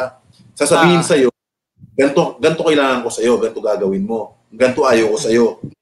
Nasa sa'yo na kung gusto mo sumunod sa kanya, kung susunod ka sa Oo. kanya, well, tulungan ka niya. Di ba? Nasa kanya, Yes. sa kanya ka. So, ayun, ayun ang gusto kay Coach Frankie. Tapos, ah, naging ah, blessing din si Coach Frankie na pumasok sa team. Kasi pagpasok niya sa team last year ko, so last year ko, team manager siya sa Token Tex. Tapos ako, well, hindi naman, ah, kinausap ako ni Coach Frankie. Actually, wala pa sa, ano ko, sa magpa-draft nun eh. Kasi season yun eh, di ba? Nakafocus pa ako sa NCAA. Gusto ko mag-back-to-back champion. So, ah, kinausap niya ako pa mid, mid, mid-season, sabi niya, Coach Frankie, pag sinabi niya tulungan kita, tutulungan ka niya. Ang maganda pa rin sa kanya, parang hindi lang ang hindi lang sa college from parang hindi hindi ka lang tutulungan sa college hanggang sa pro hanggang up to now. Nakakausap ko, parang advices, nandyan siya, handa rin niyang kausap. So, bilib ako sa iyo, Coach Frankie. Salamat. Thank you, Coach. Hi, Coach. If you're watching, shout out to you. I think si Coach also is uh, the record holder of the only undefeated undefeated San Beda team in history na hanggang champion. 'Di ba? Kasi yung iba, uh, meron like Lyceum, nag-undefeated the regular season, but they lost sa finals and then unfortunately, meron ding time na nangyari din sa atin 'di ba na ganun, yung isang ano batch ng Red Lions, but si Coach Frankie eh, ito lang yung 18-0, no? Siya lang ang nakagawa nun sa history ng uh, San Beda. Ko, Jamal, ikwento mo naman sa amin kasi limang coach ba na ano mo? Nadaanan mo sa San Beda, tama? Coach Jonathan Reyes, si Coach Nash, uh, si Coach Koy, Coach Frankie. Apat lang. Apat. Okay. Ito, syempre, uh, no biases, uh, objectively speaking, alam ko mahal mo lahat yung coaches mo. But yes, if you can select one coach that stood out from your San Beda experience, tell us sino yon at bakit? Uh, kasi yung mga coaches ko kasi, uh, si Coach Jonathan Reyes, at team B ako, one year. Si Coach Nash, uh, I think uh, isang taon at kalahati. Si Coach Koy, uh, ganun din, isang taon at kalahati ko nakasama. Si Coach Frankie kasi, uh, nakasama ko siya sa ano sa sa uh, last year ko, one year. Tapos hanggang doon nga sa pinangako niya ako bahala sa'yo, tutulungan kita. Tinulungan niya ako sa ano, sa draft ako. Token text pumik sa, uh, kinuha ko ng token text, so nandun siya. So nakasama ko siya two more years. So kaya si Coach Frankie yung favorite ko. Okay, so si Coach Frankie, kumbaga somehow yes. Uh, you saw him not only as a coach but a father figure as well. Yes. Parang ganon. And a mentor, no? Parang all-in-one ang sinasabi mo kay Coach Frankie. Somehow, uh, looking back uh, looking back at the history of uh, the coaches no sa San Beda, Coach Frankie is also one of the most successful coaches that we had in San Beda. Yes. Grabe yung records na napanalunan niya, left and right, no? Tsaka pag tininan mo yung Coach Frankie, parang yung yung pagkabidista parang 'di ba may angas konti, 'di ba? May may ganoon eh. Parang hindi, hindi magba-back down dito kahit sino, no? So, diba? yun yung katangian ng Coach Frankie na somehow, ngayon, pag nagpekwentuhan kami ng mga ibang alumni eh, yun yung parang grabe, no? Grabe si coach, ganito, ganyan. It was an unfortunate uh, incident lang yung nangyari sa kanya. Pero kung titingnan mo pa rin, isa siya sa mga mas well-loved, uh, most respected coaches in San Beda bas- basketball history. And fortunately, he is also a good friend. Hi, Coach. If you're watching, grabe na yung puri namin ni Aljamal sa'yo, ha? Coach, good evening, Coach. Kailangan Totoo pumunta naman. na tayo dyan sa Merville. At uh, ano, pag okay na lahat, eh, ano tayo, magpa-dinner ka dyan, coach. yes. Oo, ang sarap, ang sarap nila mag ano dyan. Lagi yung mga handaan nila dyan nila Miss O, di ba? Grabe yan, no? Shout out yes, kay Miss O kung nanonood go. siya. Oo, yan. Good evening, tita. Oo, good evening. So, Yusuf, no, uh, ending your journey with San Beda, I, I have to ask this question kahit pa paano, no? Kasi kahit sobrang decorated yung career mo sa San Beda, syempre may mga what if ka pa rin, ganito. So my question is to you, do you have any regrets in your stay in San Beda? Or kung kung hindi man regret, parang ano yung sana ginawa ng isang Yusuf Aljamal nung nasa San Beda siya? Regrets pa talaga. Zero. Zero! Wow! Kasi, kasi sa, sa, San Beda yung bumago ng buhay ko eh. Di ba? San wow! Beda, Sarap pakinggan, no? Ng chance sa akin. Mm-hmm. Dahil sa San Beda, dito ako ngayon, nagtatrabaho ako na maayos. Di ba? Nakapag-PBA ako dahil San Beda. Sobrang laki ng pasasalamat and uh, utang na loob ko sa San Beda. Hindi ko pagpapalit yung San Beda Oh, actually, that's one of my questions pa nga sana kanina. Kaano kalaki yung impact ng alma mater sa buhay mo pero parang nasabi mo na, no? Na Sobra. I think hindi lang sa iyo Yusuf pero like you ask any oh, any player, any student athlete or any student for that matter like me. Grabe yung impact ng San Beda sa atin, no? So w- without San Beda, hindi natin ma-imagine kung ano yung buhay natin, no? also when you, when you're playing uh, against the best doon sa NCAA before ah sinong masasabi mo na parang pinaka-rival mo or paborito mong kalaban? Sino? Si ano, si Bo Belga. si Big Bo. Every, every game nagtitirahan kami that time. Grabe, Kasi- no? Kasi mas, uh, although una siyang nakalaro, si, I think unang na-line up sa akin si Bo eh, sa PCU, ECU. Oo. NC. Uh, pero pagdating sa ano, sa, pero mas matanda ako sa kanya. Siguro mga a year or two. Oo. Uh, lagi kami nagtitirahan. Nagbabanatan, laban, laban. Talagang pag, pag sumuko ka talaga, well, as in, kulang na lang suntukan talaga. Pero yung mga, lang din nakikita na referee. Pero grabe kayo mag-physical ni Bo. Oo. Ang PCU talaga. Jamal, paano ang asaran sa inyo ng ibang players nun? Kunyari, especially PCU. Kasi, al- alam ko bumabawi sila minsan sa players eh. Kasi yung alumni, grabe mang asar sa mga players ng PCU. Alam nila ding magadiya yan. Kumbaga kung umuulan man, kumbaga hi- hindi naman umuulan sa labas, pero umuulan ng mura sa loob ng Araneta. No? Ga- galing sa mga alumni. Pa- paano sila bumabawi sa inyo? Paano paano nila kayo asarin? Kunyari, si Bo Belga. Tirahan lang talaga. Physikalan lang. Iba? Iba? So si Bo talaga ang pinakagrabe. Physic Hindi, pinaka-grabe talaga ah, yung Eric Rodriguez, yung sa Letran. Ay, sa litran. Oo, si Eric. Oo. Yung uh, Kale, isang kapal ng bigote, di ba? Ni Irod. Oo, Tapos Iron. naging, oo. naging teammate ko sa PBA tulad ni Bo. Ah, naging kumpare ko pa si Eric. Pero nung Ah. ano, every, naga, every kalaban namin, gumugulong ako sa kanya. Kasi senior siya. Rookie ako, so sinasaktan niya ako, di ako makalaban. Nakakatakot eh.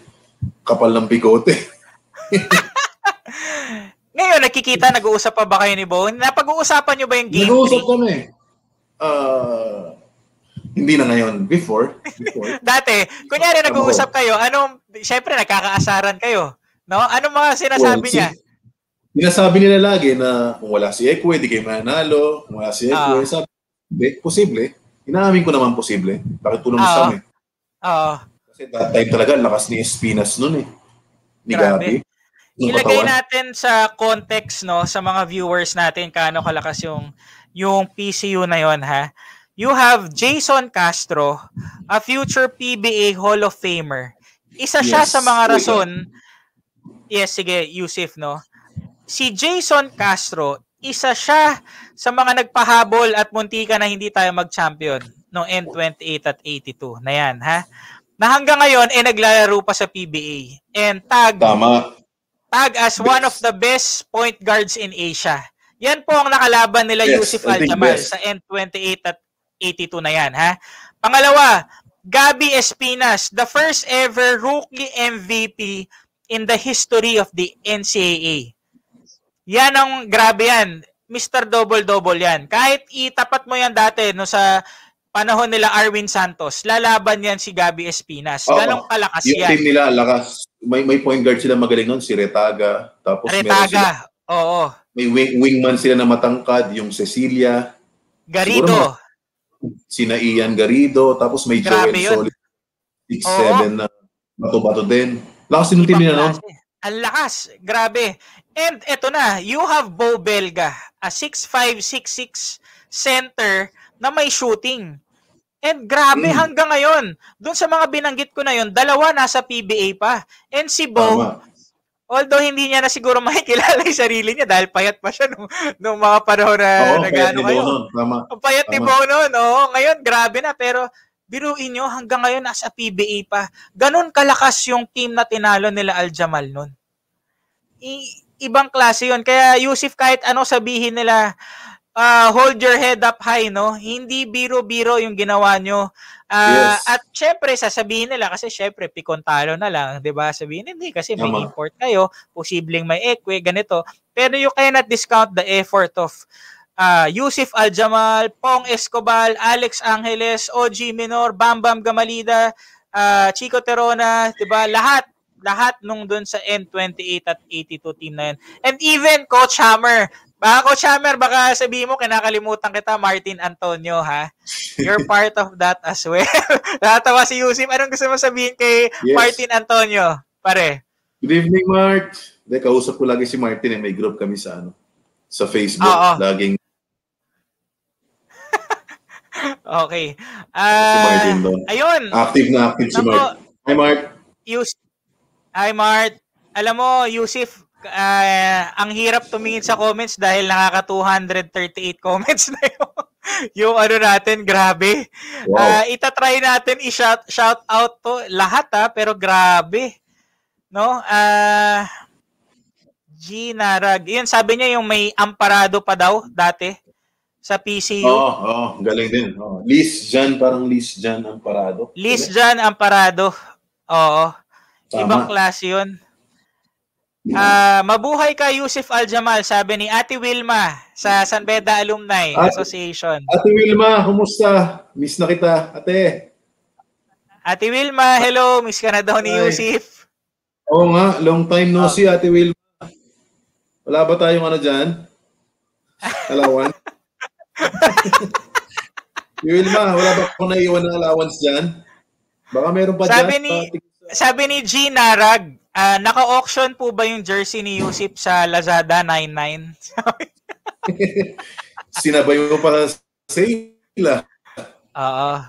Sabi naman ni Derek Idadag, yung championship daw natin sa N28 at 82. Sabi niya, bumaha daw ng lechon. Actually, Derek, bumaha na ng lechon ng game 2. Kaya lang hindi na nalo sila Aljamal noon. Kaya maraming ano lechon na nasayang sa San Beda. Tama, oo. Oh, sa game 2 pa lang may lechon na. Sabi ni ano Oo. Alfonso Preisler, he was also there the whole season and the finals.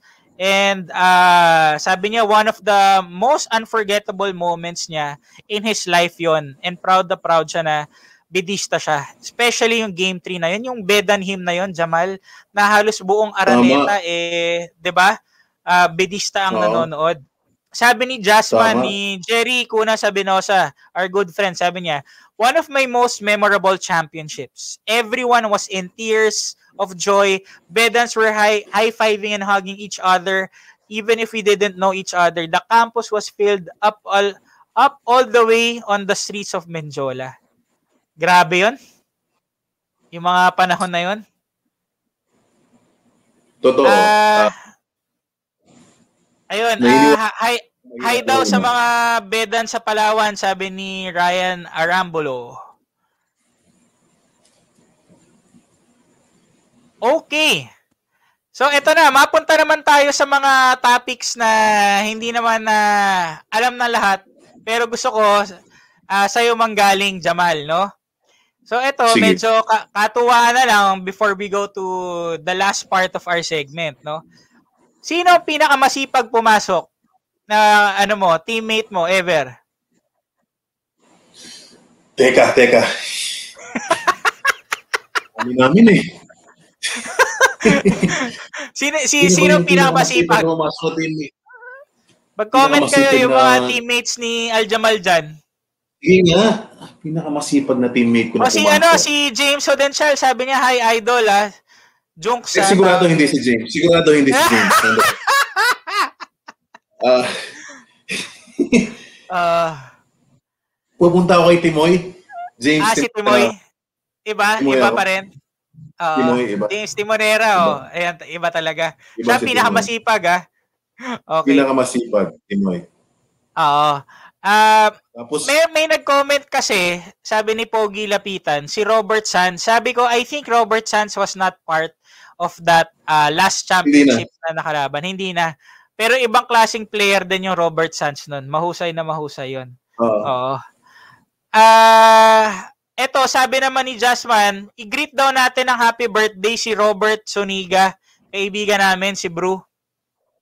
Fan mo yan, Jamal. happy birthday, Sir Robert Suniga. Oo. happy birthday.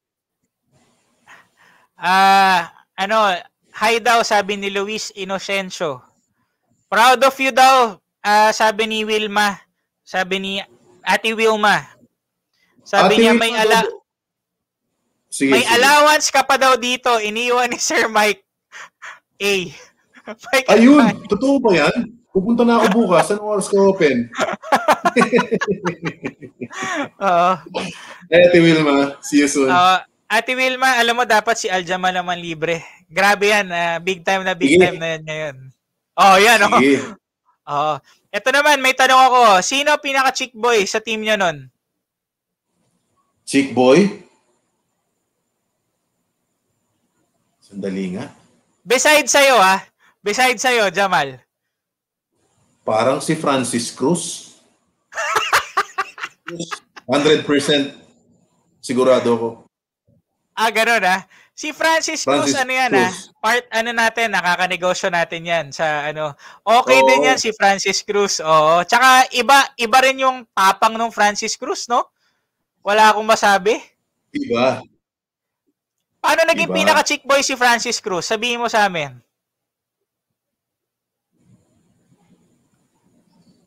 Iba-iba yung ano eh. So- Sorry, nakasama ko na Hindi, wala, ano Pero si naman, ito, katuwaan na lang to, kwentuhan na lang to, wala na yon oo. Si Francis Cruz kasi parang parang si Jolo Revilla that time eh. Well, siya yung nauna. Oo, Naunang- si Jolo Revilla, si bidista din yan, Jolo pero, Revilla- Si Jolo Revilla gumaya lang sa mukha ni Francis. Si Francis talaga yung Ganon, ganon. high praise yan. Grabe, Francis Cruz, Jolo Revilla ka daw, ha? Yes! Alam mo, babawian ka na mga yan sa mga groups nyo, Jamal. Sigurado ako. Hindi ba compliment yon? Di ba? yes? Okay, now let's go to the somehow more serious part of our uh, conversation. Uh, Yusuf Al-Jamal, ito ang tanong ko sa'yo, no? Sino sa current team ng San Beda ngayon ang nakikita mo na kapareho mo maglaro? O somehow sa last five years ng San Beda Red Lion, sino? Tingin mo? Sino Sa current team, San Beda ngayon nakikita mong uh, kapareho mga laro? Uh, I think uh, parang after ko, uh, nakita ko yung sarili ko kay ano, kay uh, JV Mocon. Nakapanood ko siya. JV Mas mag- Mocon? Oo. So, may konting similarity. Mas magaling siya ng di hamak lang. Pero may similarity. Hindi si JV Yes. Mocon, pareho kayo niyan kapangpangan. Mm. 'di ba? Somehow pareho kayo niya na undersized power forward, Yes. 'di ba? Si ano si siya JV. nakapag ah, maganda yung nakapag ano siya ng ah, sa PBA. Maganda yung na- naging uh, what do you call that? Ah, naka nasanay siya sa ah, pagiging three man niya, wingman niya sa PBA. yes, oo, kaya nag-tres na siya sa ako eh. Yes. Oo. Oo. Pero Jamal, I think ah, ang kulang mo Transition, lang nun kung may dribbling ka somehow na medyo yung tres mo tsaka yung lateral side movement mo for PBA. Pwede ka rin mag-tres eh. Ah, nag-press naman ako, pero yun nga, ang sabi mo, yung dribbling talaga yung medyo hindi Oo. masyadong na, nahirapan. Oo. Ito naman. Although, Oo, sige, go Yeah. ahead. Go ahead. Go ahead. yeah, con- contented na rin naman ako. Maski pa paano naka six years na ako sa PBA, na-experience ko na yung PBA. So, okay na rin naman ako. Alam mo, Yusuf, that's a, ano na, grabe ng blessing yung maka six years ka sa PBA. Yes. Oo. Yung iba, makatungtong lang sa PBA, kumbaga dream come true na. 'di ba? Pero yung Tama. six years sa PBA, that's, you know, uh, half of the players ng PBA baka hindi nakaabot ng six years, 'di ba? So, napakaswerte mo dyan, ah, Yusuf, no? Ito naman, ano ang advice ni Aljamal ngayon sa mga current players? Ayan, ang maganda. Ito yung gusto kong tanong. Oo. Ah, ito, ito, ilatag mo na talaga anong gusto mong sabihin sa kanila, lalo na yung mga ngayon na syempre, na pasikat pa lang, di ba? Anong gustong sabihin ni Kuya Yusuf sa mga players ngayon? Yes. Uh, yung, yung tag kasi sa amin is student athlete. So, Yes. student comes first. So, yung athlete, pangalawa. So, uh, katulad din sa buhay, uh, well, yung yung yung yung career ng pagiging athlete mas uh, maigsi kaya sa career ng pagiging uh, professional uh, well sa corporate. So my uh, advice is uh, tapusin yung pag-aaral, mag-aral ng mabuti kasi uh, ang daming nating uh, kapwa bedista na uh, uh, mga company owner, mga uh, mga mga bosses, mataas yes. yung ano decision makers sa mga big companies. So uh, they can help us also kung kung kung marunong tayo. I mean kung kung kung kung qualified tayo, kung nag-aral tayo na mabuti, uh, magiging maganda yung ano, yung magiging future natin kasi uh, sa basketball kasi uh, classmate, hindi ka makakapag-plan ahead. Like for example, hindi mo pwedeng bilin or hindi ka pwedeng bumili kagad ng ng mga bahay na na iloloan mo sa bank na ulugan mo ng mga 5 years man lang or 10 years kasi hindi mo alam kung hanggang kailan ka sa corporate, pag, pag napunta ka sa corporate, makakapag-plan ka na ahead kasi nandiyan na yung salary mo, hindi yan bababa, sigurado tataas pa yan yearly. Although maliit lang, mas maliit, pero at least yung future mo, ma-plan mo na, ma-plan siya yes. mo na yung ano, yung pwedeng maging future mo, yung gusto mong marating. Tsaka, ako rin ganun, di ba? Uh, ine-expect ko dati at least mga at least mga 10 years man lang makaka tagal ako sa PBA, pero hindi nangyari. So, hindi mo naman alam kung anong mangyari sa Ang daming kalaban sa ganyan. Number one dyan, yung, yung, yung injuries. So, better talaga kung uh, libre yung pag Kasi may tendency kasi tayo na kaming mga players na libre yung pag-aaral namin. So, okay lang na hindi kami pumasok, na hindi mag-aaral ng mabuti. Di ba? Uh, para, kasi hindi naman nahihirapan yung pagbayad, eh, libre naman eh. Pero pag natapos na yon, pag nasa pag na, nag-corporate ka na yan all, maiisip mo na sana pala nag-aral ako, minaximize ko kasi uh, Oo.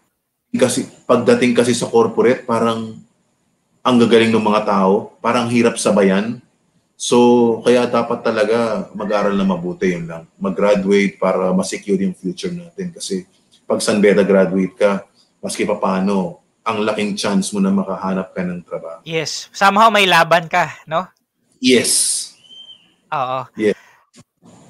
Yusuf, napakaganda ng sinabi mo because uh, despite, you know, uh, endless mga advice and uh, the things that the youth sees sa Facebook, no, sa YouTube, mga napapanood nila, minsan hindi pa rin nila na-value yung education eh and how important Tama. it is eh. No? Tama. O hindi nila Tama. na-realize yung kahalagahan nito pag graduate nyo. And alam mo yes. yung sinasabi ni Yusuf na San Beda connection, somehow can help you enter a company. Pero para tumagal ka sa isang kumpanya, nasa iyo na 'yon yung yes. abilidad mo, yung edukasyon na nakuha mo sa San Beda, lahat ng natutunan mo. Yung sinasabi ni Yusuf na iba na pagdating mo sa corporate. Because, totoo yan. Uh, hindi lahat ng nasa corporate, eh mga bidista pa rin makakasama mo. You will be exposed in all of the best schools in the land. You will have uh, mga em, ano uh, employees and uh, mga office mates from UP, from Lasal, Ateneo, UST, andon lagi yung pride mo na pagiging bidista na hindi ka magpapatalo sa kanila. At the same time, syempre, uh, pag San Beda graduate ka, dala mo yung pangalan ng school eh. Kahit saan ka magpunta. 'Di ba? So, somehow, yung image ng San Beda nakasalalay din sa iyo. And uh, yung sinasabi ni Yusuf, based on his experience yan, uh, somehow we can say na he had a um, moderate success in the PBA, a uh, good six years, pero hindi siya forever, mga ano kaibigan bilista, lalo na yung mga sa players Tama. ngayon. And yung transition ni Yusuf sa corporate, sama ilang years ka na sa co- corporate, padre?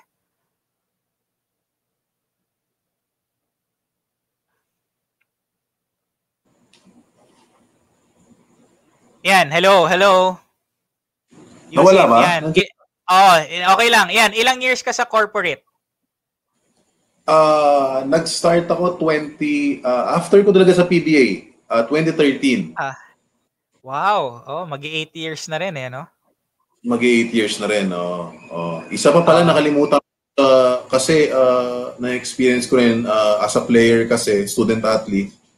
Minsan kasi kaya hindi rin uh, nag-aaral or uh, nakikinig or uh, gustong matuto ng player kasi parang uh, parang nadi-discourage na oh. syempre pag ko parang hindi naman ako makakasabay sa mga classmates ko, parang hindi ko alam.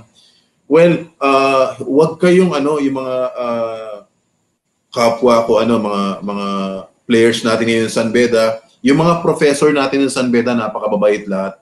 Uh, nung time namin uh, uh, nabigyan kami ng uh, blessing na yun nga ang babait ng mga prof namin tulad ng amin na Sir Mike Rubio, sina Sir Darwin Ketwa.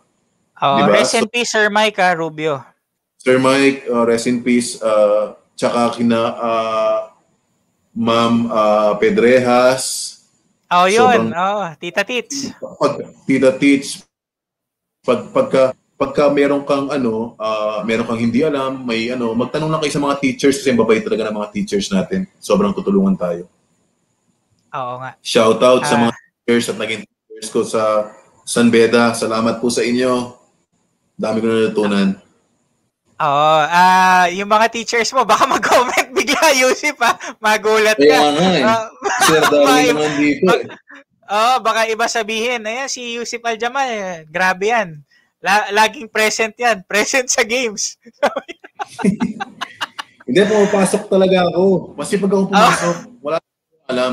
Nasa likod lang lahat. Totoo, pumapasok ka kasi naging ano, classmates tayo eh. Alam mo, Oo, pumapasok ka. Pumasok, oh. Kasama mo si Magay, si ano, The Black Lion. Dahil iba yung si Magay, matalino yan. Oo, iba yan. Siguro ba uh, before we end and before we get your final uh, message for the community, magbasa muna tayo ng comments dahil flooded na naman. Sabi Sige. ni Brother Vernon Perea, uh, owner na Mr. Soft ito. Hello brother, kamusta? Attended the victory mass with my wife at the Abbey of Our Lady of Montserrat. Straight from the convoy. Ibang klase yung feeling from Araneta to Menjola. Ito yata yung sinasabi yung nag-champion pa rin. 'Di ba? Sabi naman ni ano ni uh, Al Alfeo Sanggalang, perfect advice daw ang binigay mo, Yusif. Thank you. Oo. Sabi ni Emil Intatano, ganda ng sinasabi ni Aljamal. Real talk. Salamat Aljamal. Sabi. Ah, uh, yan si Tito Jerry Farin. Hi. Uh, yes, correct. Education is important. Basketball is just a start. Tama yung sinabi Tama. niya. But somehow it's a good start especially for Yusuf. Uh, grabe yung blessings niya, no? He was a great player pero yung naging transition niya sa corporate ay Yusuf, kwento mo nga sa amin 'yon. Syempre, your chosen career is a basketball player. Pero yes. syempre, nung pumunta ka sa corporate, ano ang naging transition mo doon sa mode Sobrang na yon? hirap. Sobrang hirap. Mahirap. Oh, eh explain mo nga, pahiyan mo nga. Nung uh, graduate ako sa San Beda, di ba naman uso laptop eh. Puro computer pa, PC pa, di ba? Tama, sa Bedanet, di ba? May Bedanet tayo. Tama. Puro oh. puro puro PC pa, 'di ba? Wala pang mga oh. laptop, 'di ba? Oo. So nung uh, hello? Nawala? Yes, meron. Oo. Naririnig ka namin. Naririnig ka namin. Yes. Oo. So nung nung nung after ko sa basketball, pagpasok ko sa ano sa sa corporate, nagulat ako, laptop. Mahirap mahirap yung transition. Sobrang babait ng mga kasama ko sa office sa Meralco. Sobrang oh. bait nila. Oh. Sobra tinulungan nila ako. Yung transition unti-unti naman. Hindi ka naman kasi bibigla kasi alam naman kung saan ka nang galing oh. eh, yung mga yung yes. mga boss, oh. mga oh. ano, head ng company. Hmm. Uh, hindi naman nila, syempre, titingnan din yung capacity mo or yung capability mo kung hanggang saan ka hmm. muna. Syempre, hmm. kung dyan muna, step tutulungan ka rin naman nila. How hard was it for you, especially coming from a parang uh, superstar basketball, Yusuf Al-Jamal, tapos pagdating mo sa PBA, somehow hindi na ikaw yung superstar, and then nag-corporate ka, hindi ka ba nahirapan na nawala ka sa basketball? Kasi ba kar- karamihan, Yusuf, somehow, uh, after nila maglaro, uh, nag-assistant coach, marami tayong, ano ngayon, marami kang mga teammates na assistant coach na ano na, 'di ba? Very tama, successful tama. like sila Chico Terona, 'di ba? Mara- marami na nag-aano sa assistant. Hindi mo naisip 'yon na magstay ka sa basketball? Hindi kasi uh, nung uh, seventh year ko sana nung nasa last year ko sa PBA, uh, yung global port ako noon. Uh, yes. Uh, kinausap pa ako kung gusto kong uh, uh, mag-sign pa ng uh, I think six months binibigay sa akin. Tapos yung kontrata uh, medyo maliit. Uh, before kasi ako na-trade from uh, Meralco to Global Port, kinausap na ako nung uh, Meralco. Kasi ang sabi uh, ni ni na ano ni na boss ASP, ang sabi niya uh, kung gusto mong mag uh, magtrabaho na lang corporate dito ka na lang. Dito ka okay. lang mag-start. Well, yung basketball, lalo na ngayon, hindi ka na masyadong nagagamit na, baka gusto mo nandito. So, hindi na ako masaya that time sa ano kasi hindi na ako masyadong nagagamit eh. Tapos bibigyan pa ako ng six months. So, binalikan ko na yung ano, nag, nag hindi na ako dun sa Global Port, binalikan ko na yung sa sa ano sa Meralco. Sabi ko sige corporate na ako kasi baka baka pag nag-sign uh, pa ako ng six months sa uh, sa Global Port, yung yung sa Meralco mawawala na by that time. Eh. After ko noon eh, kaya baka pagsisiyan ko pa yon, di ba? So uh, I think I, I made a, a, a, a good choice na masaya ako na yun nga yung ginawa ko. Okay naman. And ang kagandahan, hindi ka naman nagsisi and you're ve- you're doing very well sa Meralco ngayon. Oh, so sh- shout out Jamal, ang ganda ng story mo. Ah, uh, ito yung mga gusto natin somehow balikan, yung mga memories natin na napakasaya. Pero ngayon, we're very happy. You also have a beautiful family. Ang cute-cute ng anak mong babae. Grabe. Thank you. No? Oh, magsasanbeda ba yan, salamat. Jamal? Magsasanbeda ba yan? Pwede. Pwede. ano ka ba? Strict Pwede. daddy? Strict daddy ka ba? Lalaki sana eh. Medyo, medyo. Hindi na masyado. oh, ba, baka natatakot ka sa mga, sabi nila, mga kasalanan na nakaraan. Eh, di ba? Hindi, natatakot ako dun sa, ano, sa, sa anak ko kasi ang galing mag-English eh. Hindi na ako makasagot eh. Tatahimik na lang ako pag uh, nagsalita siya. Oo, Hindi ko no? masabayan. Oo. Oh, eh, ano na lang, yes and no na lang, no? Daddy, yan na lang yung sagutan. Oo. Oo. Oo. Uh, sabi ni Raymond Magay, id- uh, idol pa shout out daw the Great Wall, Team Ong. Jaw, Team Ong. Oh, si Team Ong talino din, bait ni Team Ong din. Hi Team. Ah, uh, uh, sabi ni uh, Dr. Leslie Herrera, sabi niya, pwede ba Rayo pakisabi kay Aljamal eh bago siya matulog, mag-good night ka naman daw sa kanya para daw masarap ang tulog niya.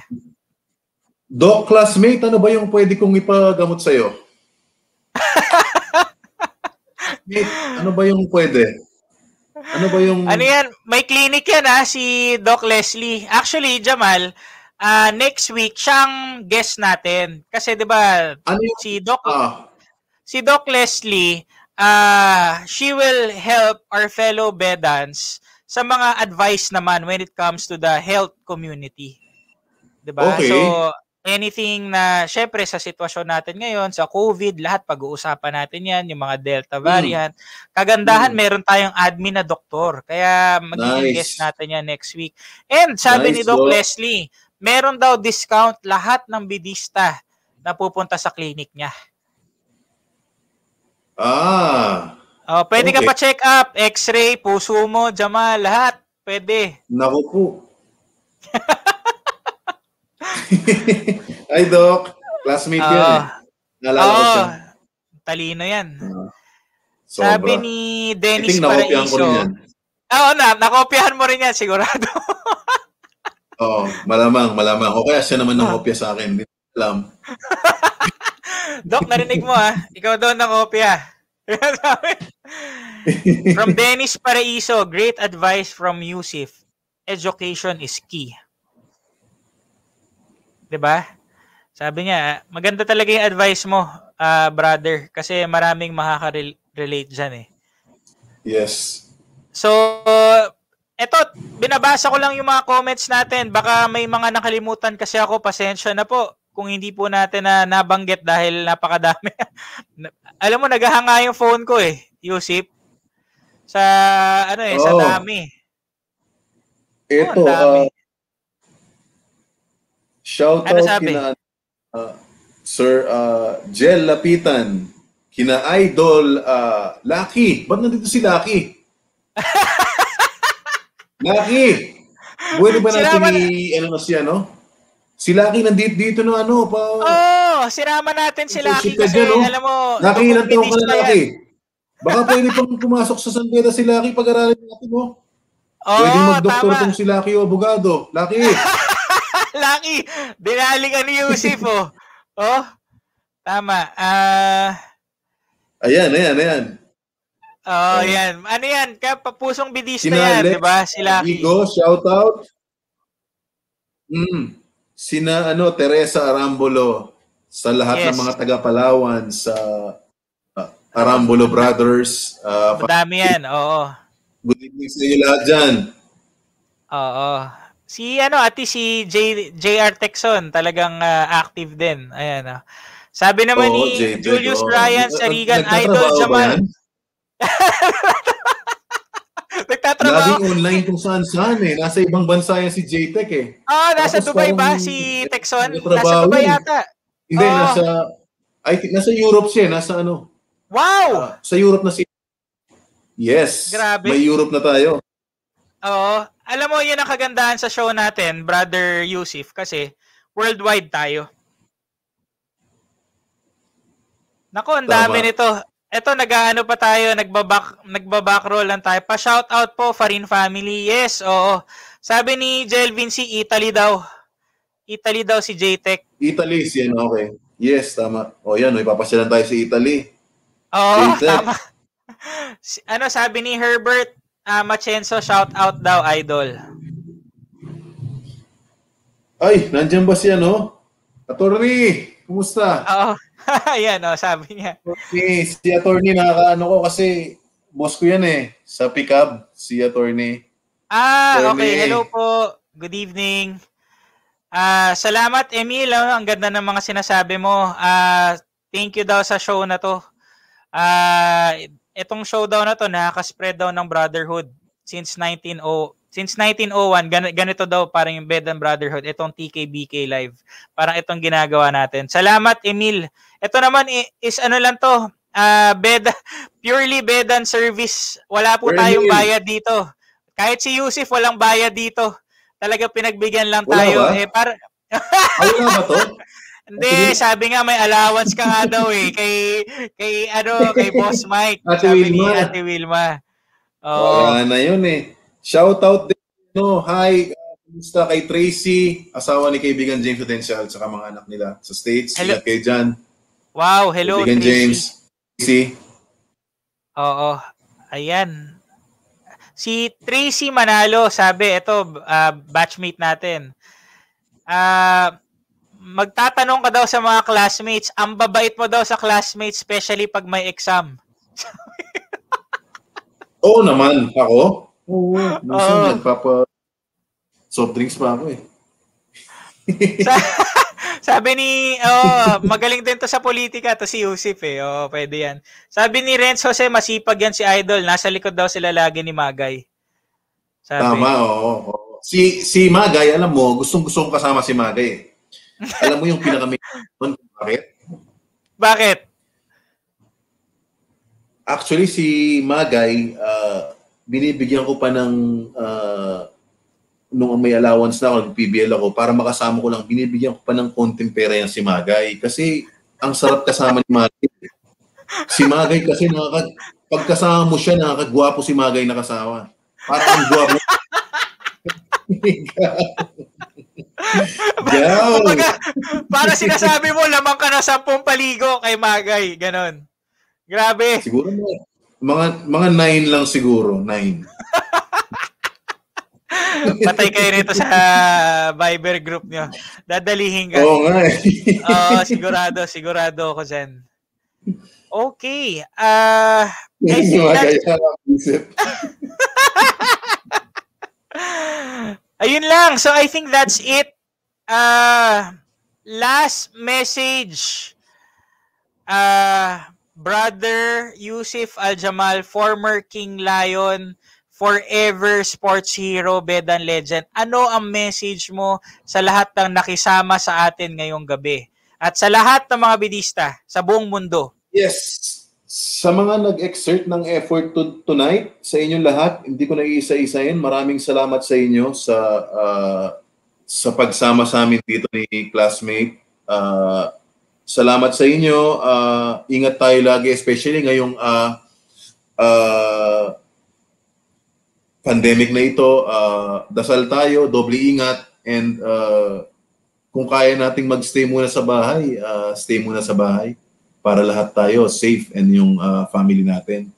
Uh, mang, mag ah, shoutout din pala dito sa mga ah, Kapampangan Bedans na kasama ko dito. May group, may group kami sa ano sa Wow! Yes. Uh, yes, oo. headed, headed by uh, Councilor uh, uh, Harvey Kiwa. Sina Yes, Gado. Harvey. uh, natin, uh, shoutout sa inyo dyan, mga pare. Sa inyo lahat.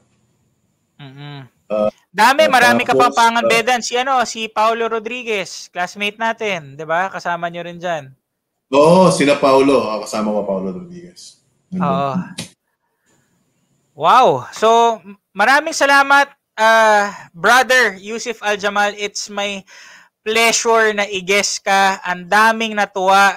Grabe. I, I hope na you are also happy dito sa Yes. interview natin na to na nag-reminisce tayo ng iyong stay, ng iyong buhay at uh, yung experience mo as a Bedan, not just a Red Lion. Yes, tama. Uh, all right. Salamat. Pare, alam ko ah, nag ah, maraming salamat. Natakot ako kanina bago sa interview natin dahil nag-brown out dyan sa inyo. Kala ko patay ako sa mga viewers ko. Kala ko mawawalan ako Oo ng guest ngayong oo, gabi. muntik na. Sakto lang, buti na lang kamo, nagbumalik ka agad. Last na, pre, ah, si Ah. ano, kasama sa Kapampangan ah, group, si Sir ah, Joe Macruz. Ah, sir, maya pa kaya kayo. Tsaka si, ah, ano din, si si James Udencial, sabi niya, pasalamat daw sa mga sponsor, ah, Burger Machine, Mang Rogers, si Bal- Mama Leng, saka yung Malboro daw. Oh, Malbo- Uncle Tonton, sama mo. Yung mga dati, di ba? Yung mga ganon. Jamal, pa-raffle tayo ng napakagandang mask ni Angelo Ahero. Ayan, Sige, oh. sige. Bagong-bago pa. So, Sige, Brother Angelo, thank you so much. Oh, yan, ah, pa-raffle tayo. Sambeda face mask. So, ang gagawin lang natin sa raffle natin, ah, magtatanong lang tayo ng ah, questions tapos kung sinong ah, napili mong mananalo, yun ang Sige. mag-uuwi nitong Sanbeda Sige. face mask. Okay? Taga Sige, saan? Ito first question. Taga saan si Aljamal sa Pampanga? Sige. Anong town or municipality? Wala Shout pang out daw kay ah, at ano ah, kay Ria Batakan, barkada ko. Ria, Si hi. Ria. Oo, yung family ni Ria, ah, si Attorney Batakan, yung may ano ngayon eh, Jamal, di mo na naabutan yon. Pero yung LRT2 Mm. ngayon, connecting to San Beda, Mm. sila ang nag-donate niyan, yung family niyan. Wow. Ganun ka big time Nice. yan sila, ano, oh, na-build up kita, ano, Ria, barkada natin yan. Oh, grabe yan. Hi, Ria. Ah, oh, wala pa yata sumasagot eh. Wala yata may alam eh. Wala pa dami ba? na sumagot. Sabi ni JTech is, hindi, Pampanga Angeles, sabi ni Lucky, Wala Santa eh. Rita, sabi ni Lex Wala. Vigo, Sukad, Wala, sabi. wala. Okay, Darwin, Ke- hindi, teka, sino bang nauna? Oh, may nag may nag ano, Joma Cruz, sabi niya apalit. Siya ang Nauna ba si. Joe? Oo, Okay. nauna. Oo. Okay, nice. Tapos sumunod na si Bam Bam. Tapos sumunod si James Odencial. Tapos si Vince Agraan. O ikaw mamili. Sabi ko pala, Si ikaw Borgie, muntik na mamimili. si Borgie ah. Hindi ba natin binigay kay Borgie? Mukhang tama si Borgie ah. ah, ah, sa Saudi ka daw eh, sabi. Parang ni, niyayari ka ni Borgie eh. Parang alam mo may mga ano asaran kasi dati na ang ano the 'di ba the King Lion si Al Jamal. Ang nickname niya the Flying Arab daw. yung mga paro, kasi yung mga ano eh kahit pangalan Yusuf Al Jamal, 'di ba? Talagang Phil, Phil ano ka ba? si- Yusuf. Phil Arab. Iranian? Saudi. Ah. Phil Arab talaga. Arab. Okay. Saudi. Yes. Oh, Si. Borgie, mabait pa nga yan. Mabait pa nga yan eh kasi may pinapatulong sa akin sa Meralco, di pa nagagawa eh. Tinitingnan ko pa kung tutulungan ko rin. so, pinag-isipan ko pa. So, Yari ka, Borge. Yari ka. Ah, palagi ako sumasama kay Pards pag weekend, pag umuwi ng apalit. Sabi ni Bam Bam. Oo nga. Barge, Diba? yes, Barge. Oo. Oo. Sa ano ka daw nakatira sa Pampanga, sabi ni Carlton.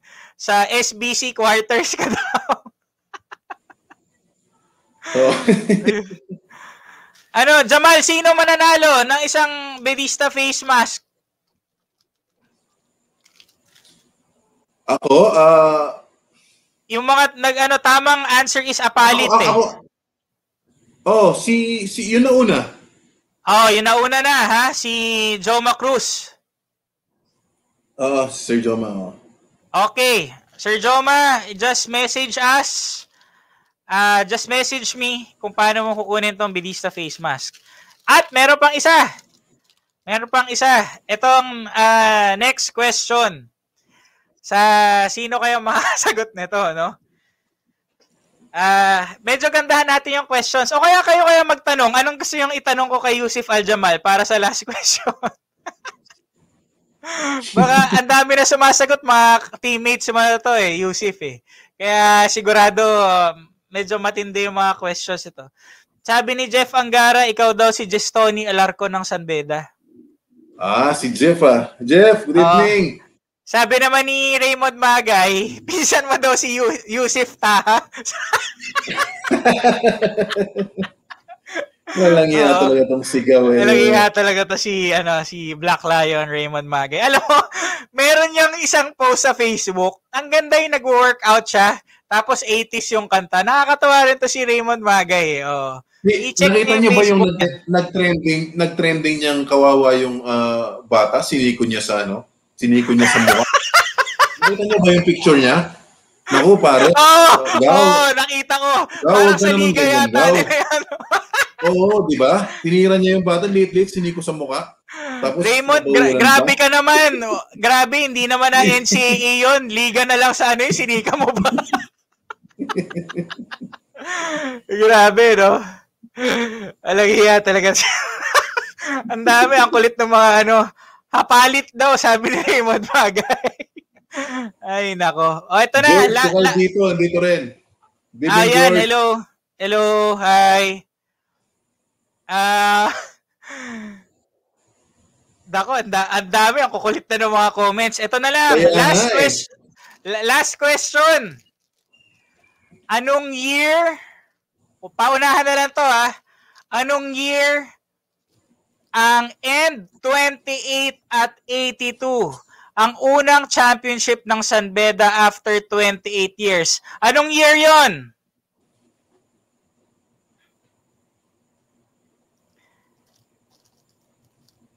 Ah, sabi ni Party Rock, dapat may one-on-one kwentuhan daw si Raymond Magay. Oo ang ang Dapat hari ng ligang eh, labas. Si Magay, si Magay Ah, talaga. Oo, para alam mo- i-explain din yung ginawa niyang yun.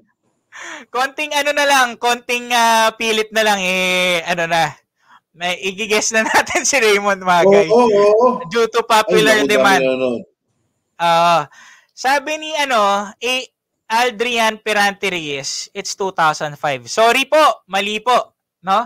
Ang una pong sumagot is si Mr. Vince Agraan, which is 2006. Tama ba, Yusuf Aljamal? Tama, tama, tama. Okay, so ah, palakpakan natin si Vince Agrahan. Ikaw ang winner ng ating Bidista face mask. Okay, so message us. Ha? So yan, napapadala natin. Naka-plastic pa po. Safe na safe. Yan, hindi pa na, nabuksan. So brother Yusuf Aljamal, maraming salamat ulit. Ha? At ah, hopefully magawa natin to. At ah, pupunta pa kami nila attorney G-Boy dyan sa Pampanga pag okay na. Yes, thank you so much. Yeah, it's my pleasure. Sobrang uh, na-miss ko to, na-miss ko mga bedista. Imagine 2000 ano. Uh, tour ng conversation sa mga bedista. So masaya ako dahil na nangyari to. Uh, salamat sa tiwala sa akin na kinausap mo ako na i-guest dito sa ano mo, sa tunay kang bedista. Salamat. Wal, walang problema. Sabi ko nga, it's my pleasure. And maraming bidista na nagmamahal sa'yo, Yusuf. Doesn't matter kung 15 years ago na yung championship na yon, 20 years, kahit maging 30 years. You will be forever part of the San Beda sports legacy. And you will always be a champion. Maraming salamat, Yusuf, and good night. Ano mo, pare? Thanks, guys. Good night. Okay po. At uh, dyan po nagtatapos ang ating show. Uh, marami po ulit salamat sa lahat ng sponsors natin. Uh, iisa-isahin ko lang po para matuwa naman po yung mga sponsors natin. No? Mr. Cool, Mr. Fresh, Baguio Bomb Company, Dr. Kit Philippines, Delish Diet Delivery, Islands Juice, Suvid Station, Hello Lipa, Hello Batangas, JT's Kitchen, International, Monoloa Manila, Skipples PH, Chef and Baker Manila, Pots and Homes, and Mr. Softy. Sa lahat po ulit ng uh, nakisama, nakitawa sa Tunay Kang Bidista Live, marami pong salamat. Next week po, very important po ang show natin. Manood po kayo Wednesday po ulit, 8 o'clock. We will guest our newest admin, si Dr. Leslie Herrera, our good friend, uh, para bigyan naman tayo ng advice about the COVID situation, anong mga do's and don'ts natin, especially sa mga working, tas umuwi sa bahay, ano ba tong lambda variant na to, ano tong mga delta na to, pag-uusapan natin lahat to, no? And how we can cope up with this situation. And syempre, as Bedans, tayo-tayo, kilala natin ang isa't isa, no? Tayo-tayo rin na magtutulungan. So, yan po ang aming public service para sa lahat ng bedista. And uh, ang kagandahan, para po sa mga hindi members ng show na to, meron na po tayong YouTube channel. Isesend ko po dito, uh, maglalagay ako ng post one time about our link for the YouTube channel. Mapapanood nyo na po lahat ng replay doon sa YouTube.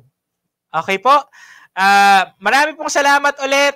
Uh, and sa lahat po na hindi po nabanggit, next time po, uh, Naku, eh, isa yata ito sa mga show na napakadaming comments, napakakulit po. Umabot po tayo ng 463 comments, no? And ang post reach natin, umabot ng 2,000. Video views natin, 1,200. Guys, maraming salamat ulit sa suporta at sa lahat pa ng manonood sa replay mamaya. Maraming salamat. At uh, sa mga hindi ko po na shout out, eto po, hello po sa inyo lahat at magkita-kita po tayo ulit next week. Maraming salamat po. That in all things, God may be glorified.